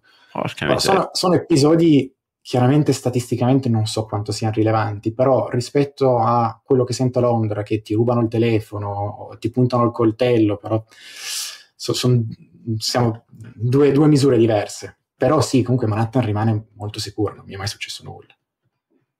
Mm-hmm. Però il worst case sembra brutto rispetto a quello che vedo qua. E, vediamo, tra un po' ti lascio andare. La domanda ce l'ho io. L'Asia non c'è più pensato o per te è un'esperienza, parentesi chiusa? Eh... Visto che comunque un anno ci hai vissuto. Allora, io ho una cosa che mi, so, mi sono reso conto, io probabilmente non vivrò più in Italia, uh, però Beh, voglio vivere in, un'affermazione, eh? Sì. Cioè. Vabbè, non è che lo sto promettendo a nessuno, se cambia no, idea, cambia idea. Chiaro, però... il movimento più in Italia è interessante. Ok. Sì. Non, sei tra gli, tra gli, italiani che prima o poi voglio tornare a un certo punto. Non... Ma allora ricordiamo anche il fatto che io sono mezzo francese, quindi metà della mia famiglia comunque non è in Italia e già okay. fa, fa, sì che uh, insomma cambia un pochettino le cose, però sì, non, non, non, uh, ho voglia di contribuire a, alla situazione, in qualche modo ridare all'Italia, perché mi ha mm. dato tanto, um, però l'idea di, e di passarci del tempo in Italia, ma l'idea di, di vivere perennemente tutto l'anno non, non so se, se, è una cosa che vorrei. E il, il posto in cui mi fermerò, uh, voglio che sia un posto in cui posso assimilarmi e sentirmi parte di quel popolo, di quella nazione, di quella cultura. È una cosa abbastanza importante per me, non mm. voglio rimanere un expat per il resto della mia vita. E l'Asia è molto difficile per una persona, diciamo, non asiatica di poter arrivare a questa cosa. L'integrazione è il problema. Ok, L'inter- vuoi cercare le... vuoi mettere radici da, da qualche parte? Voglio mettere le radici e sentirmi parte. Per questo, secondo me, gli Stati Uniti sono un paese fenomenale perché sono molto forti su questo. Ok, perché vabbè, mm, non lo so, dici? Nel senso che gli Stati Uniti hanno come forza il fatto che fino a poco fa erano terra di nessuno, quindi chiunque va lì dopo un po' diventa un, un pezzo del territorio. Uh, che è l'esatto opposto tipo del, del, Giappone, che ne so, posti in cui c'è, c'è, un, c'è, c'è chi è di lì e tu sarai sempre uno straniero in America sono tutti stranieri sempre, sono nati come stranieri, però, però, poi, però, poi, dopo le radici non, non, le metti mai veramente, cioè le metti sempre, non lo so, mm, mi fa strano. Non... Cioè, secondo me questa cosa che negli Stati Uniti, innanzitutto l'americano non esiste, cioè esatto. non c'è un grosso stereotipo. I valori in cui ci si riscontra sono valori che si acquisiscono non coi quali si nasce, non è necessariamente un colore della pelle, neanche una lingua in realtà, o una religione, o insomma questi tipi di cose sono più ideali se non voglio dire libertà perché è un po' una stupidaggine. Per mettere radici ti interessa che integrarti in una cultura preesistente, ok? Esattamente. E poi l'altra cosa bella degli Stati Uniti è che puoi sentirti americano senza rinunciare a quello che sei. Ah. Io non voglio rinunciare di essere italiano o francese per diventare qualcosa. Mm. Negli Stati Uniti io posso sentirmi italiano, francese nelle comunità che ci sono e anche americano. In Inghilterra non, non lo so. Uh, in mm. Asia mi, è, mi, è sembrata più difficile. Ok, quindi il, l'ipotesi di tornare in America c'è. Adesso sì, anche sì, quella... La fidanzata attuale è, è americana, tra l'altro. C'è sempre quell'ipotesi, una porta che, si, teniamo e, e vedremo come, come, andranno i prossimi anni. Sì. Bello, se avete qualche domanda, questo è il momento migliore. Uh, tanto ho qualche domanda che ho salvato, te, te, te, le, te, le, faccio e vediamo un po'. Questa mi piaceva molto, sempre del Mister Nocio, che è stato molto attivo stasera, e chiede: Sei un lettore, hai libri interessanti da consigliare sull'argomento software engineering? E aggiungo io, e anche su altro. C'è qualcuno che aveva notato alcuni libri dietro e le aveva commentato in chat. Ah, sì, sì, sì, sì, uh, leggo abbastanza. Diciamo, software engineering è, è, un argomento abbastanza ampio. Il mio libro comunque preferito tecnico, che secondo me è fatto benissimo e che si conosce, si chiama Data, Designing Data Intensive Applications, è quello rosso col topolino tipo davanti della O'Reilly. Uh, ok, già non lo conosco, sarà recente. Design Data eh. ha un nome che mi, mi piace tantissimo.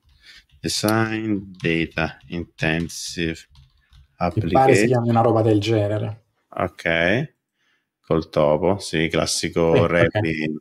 topo. So cos'è, non so cos'è sta animale, aspetta che chiamarlo chiamarlo topo sta cosa qui è un... Ah no, è un facoscio, non cinghiale, non è il topo. Facoscio, sì.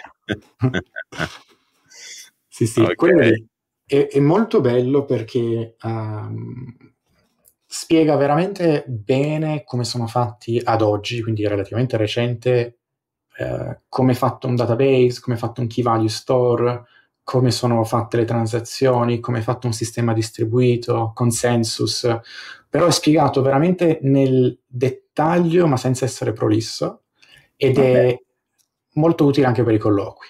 Io mi faccio sempre il ripasso prima di fare il system design quei colloqui e buttare qualche keyword da lì a, a ok, ok, non conosco le della mia generazione, sono, però sono curioso, me lo, me lo segnerò, può darsi che lo recupererò. In USA eventualmente torneresti a New York o proveresti a vivere altrove? Penso che avevi già risposto eh. a questa domanda. Beh, ci sono tante considerazioni da fare. Una grossa è anche la distanza, cioè non ho voglia di essere troppo lontano dalla mia famiglia in Italia. Comunque, questo forse è passato male, ma cioè, io ci tengo ancora alle persone che ho in Italia tantissimo e non è che semplicemente non mi ci vedo vivere lì, ma mi ci vedo avere uh, delle relazioni e la West Coast è comunque lontana. Quindi non lo so, ci penso spesso. La mia ragazza è del Texas. Il Texas è anche un posto interessante. Non so se riuscirei a viverci, però eh, ci sono delle città interessanti. Beh, adesso tutte le aziende di Elon Musk andranno lì, per cui... Sì. C'è chi chiede se hai mai pensato di prendere un dottorato, se sì o no, per quali ragioni?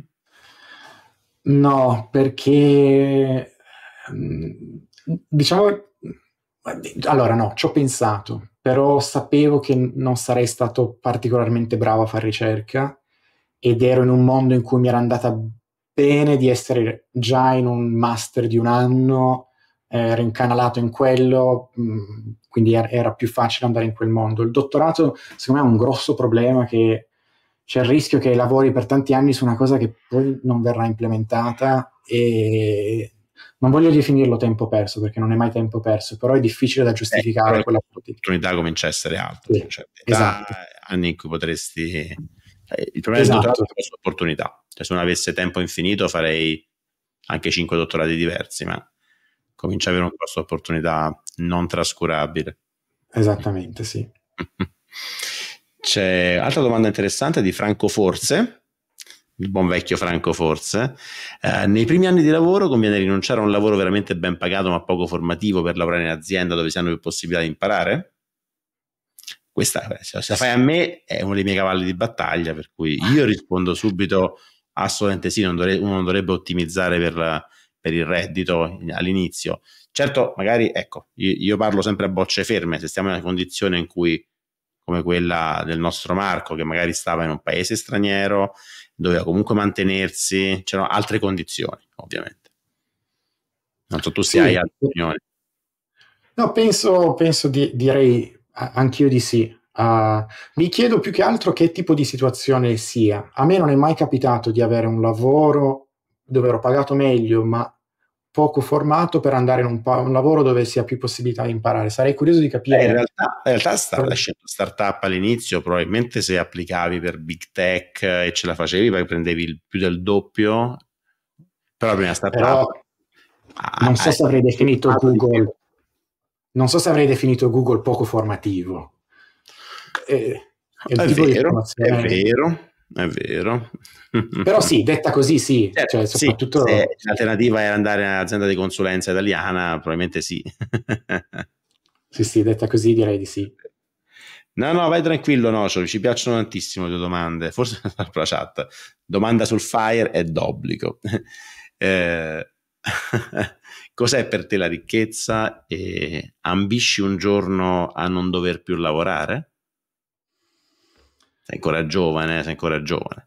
Domanda allora, sì, ecco, ho, una, ho una grossa fortuna per cui non ho paura di lavorare e a 28 anni secondo me va bene. Uh, sicuramente sì. a, a, 50 avrò un altro rapporto, quindi non penso tanto alla pensione eh, come insomma, timore di dover ancora lavorare tanto, ma sicuramente pianifico a livello finanziario um, a riguardo, se, se vuoi possiamo parlarne. Uh, la che ricchezza è una bella domanda. Dell'aspetto come investi essenzialmente? Sì, uh, investimenti uh, sono investito 80% in cripto. no, scherzi. no.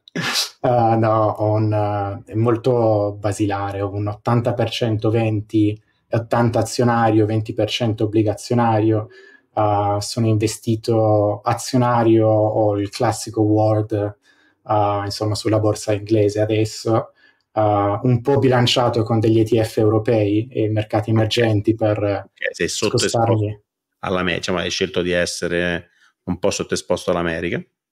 Ma perché già col lavoro lo sono. Ok, è vero. Perché avere anche la tua policy con le. A parte non avere ancora nessuna azione Amazon vestita. No, ma tanto venderei per comprare indici. Non, sì, cioè, credo ovviamente in Amazon, ma non ho voglia di insomma, scommetterci. Mettere troppo Ho il tempo. Certo. Sì. Okay. Uh, quindi sì, ho un 80-20 molto noioso, ma non nessuna ambizione di, di guadagnare tanto nei prossimi due anni. Eh, sto bene con lo stipendio che ho, sono molto contento del fronte temporale che ho uh, riguardo agli investimenti e um, ovviamente utilizzo tutte le cose di tassazione fiscali. Questo è interessante come domanda. Come te... Beh, in teoria, a parte se usi Interactive Brokers, uh, UK, UK è lo stesso, US è una succursale, per cui per me sarebbe proprio zero come passaggio.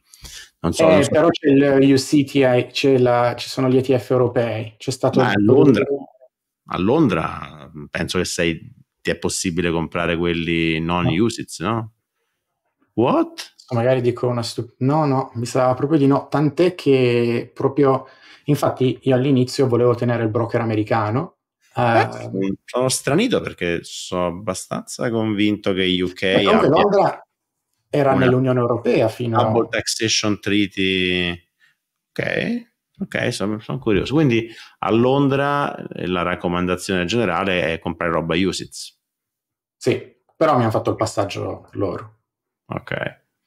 O utilizzi che, che, broker utilizzi se posso chiedere? Interactive Brokers. Interactive Brokers. Quindi uso Interactive Brokers, uh, 8020 ETF, uh, utilizzo, ci sono degli account di agevolazione fiscale nel Regno Unito dove si può mettere una somma tutti gli anni per... ISA, ISA, ISA. Sì. Sì, sì. Quello è un bel cheat, quello è fantastico perché alla fine è 20k l'anno. Dipende se... dagli anni, è iniziato a essere 20k adesso, sì. Ok, perché essenzialmente non è un, è un tax, è, è un proprio tax exemption account, non è neanche un, ta- è un tax capital gain. No. Capital gain e non è neanche un asset pensionistico, sono proprio soldi free. Sì. Che figata, proprio figo. Sì, Risa. sì, sì. sì. Bene. 20k all'anno sono tanti. Sì. Eh, sono tanti, no? Eh, col compounding. Bene ragazzi, io direi che abbiamo, abbiamo coperto tutti i topic che volevamo.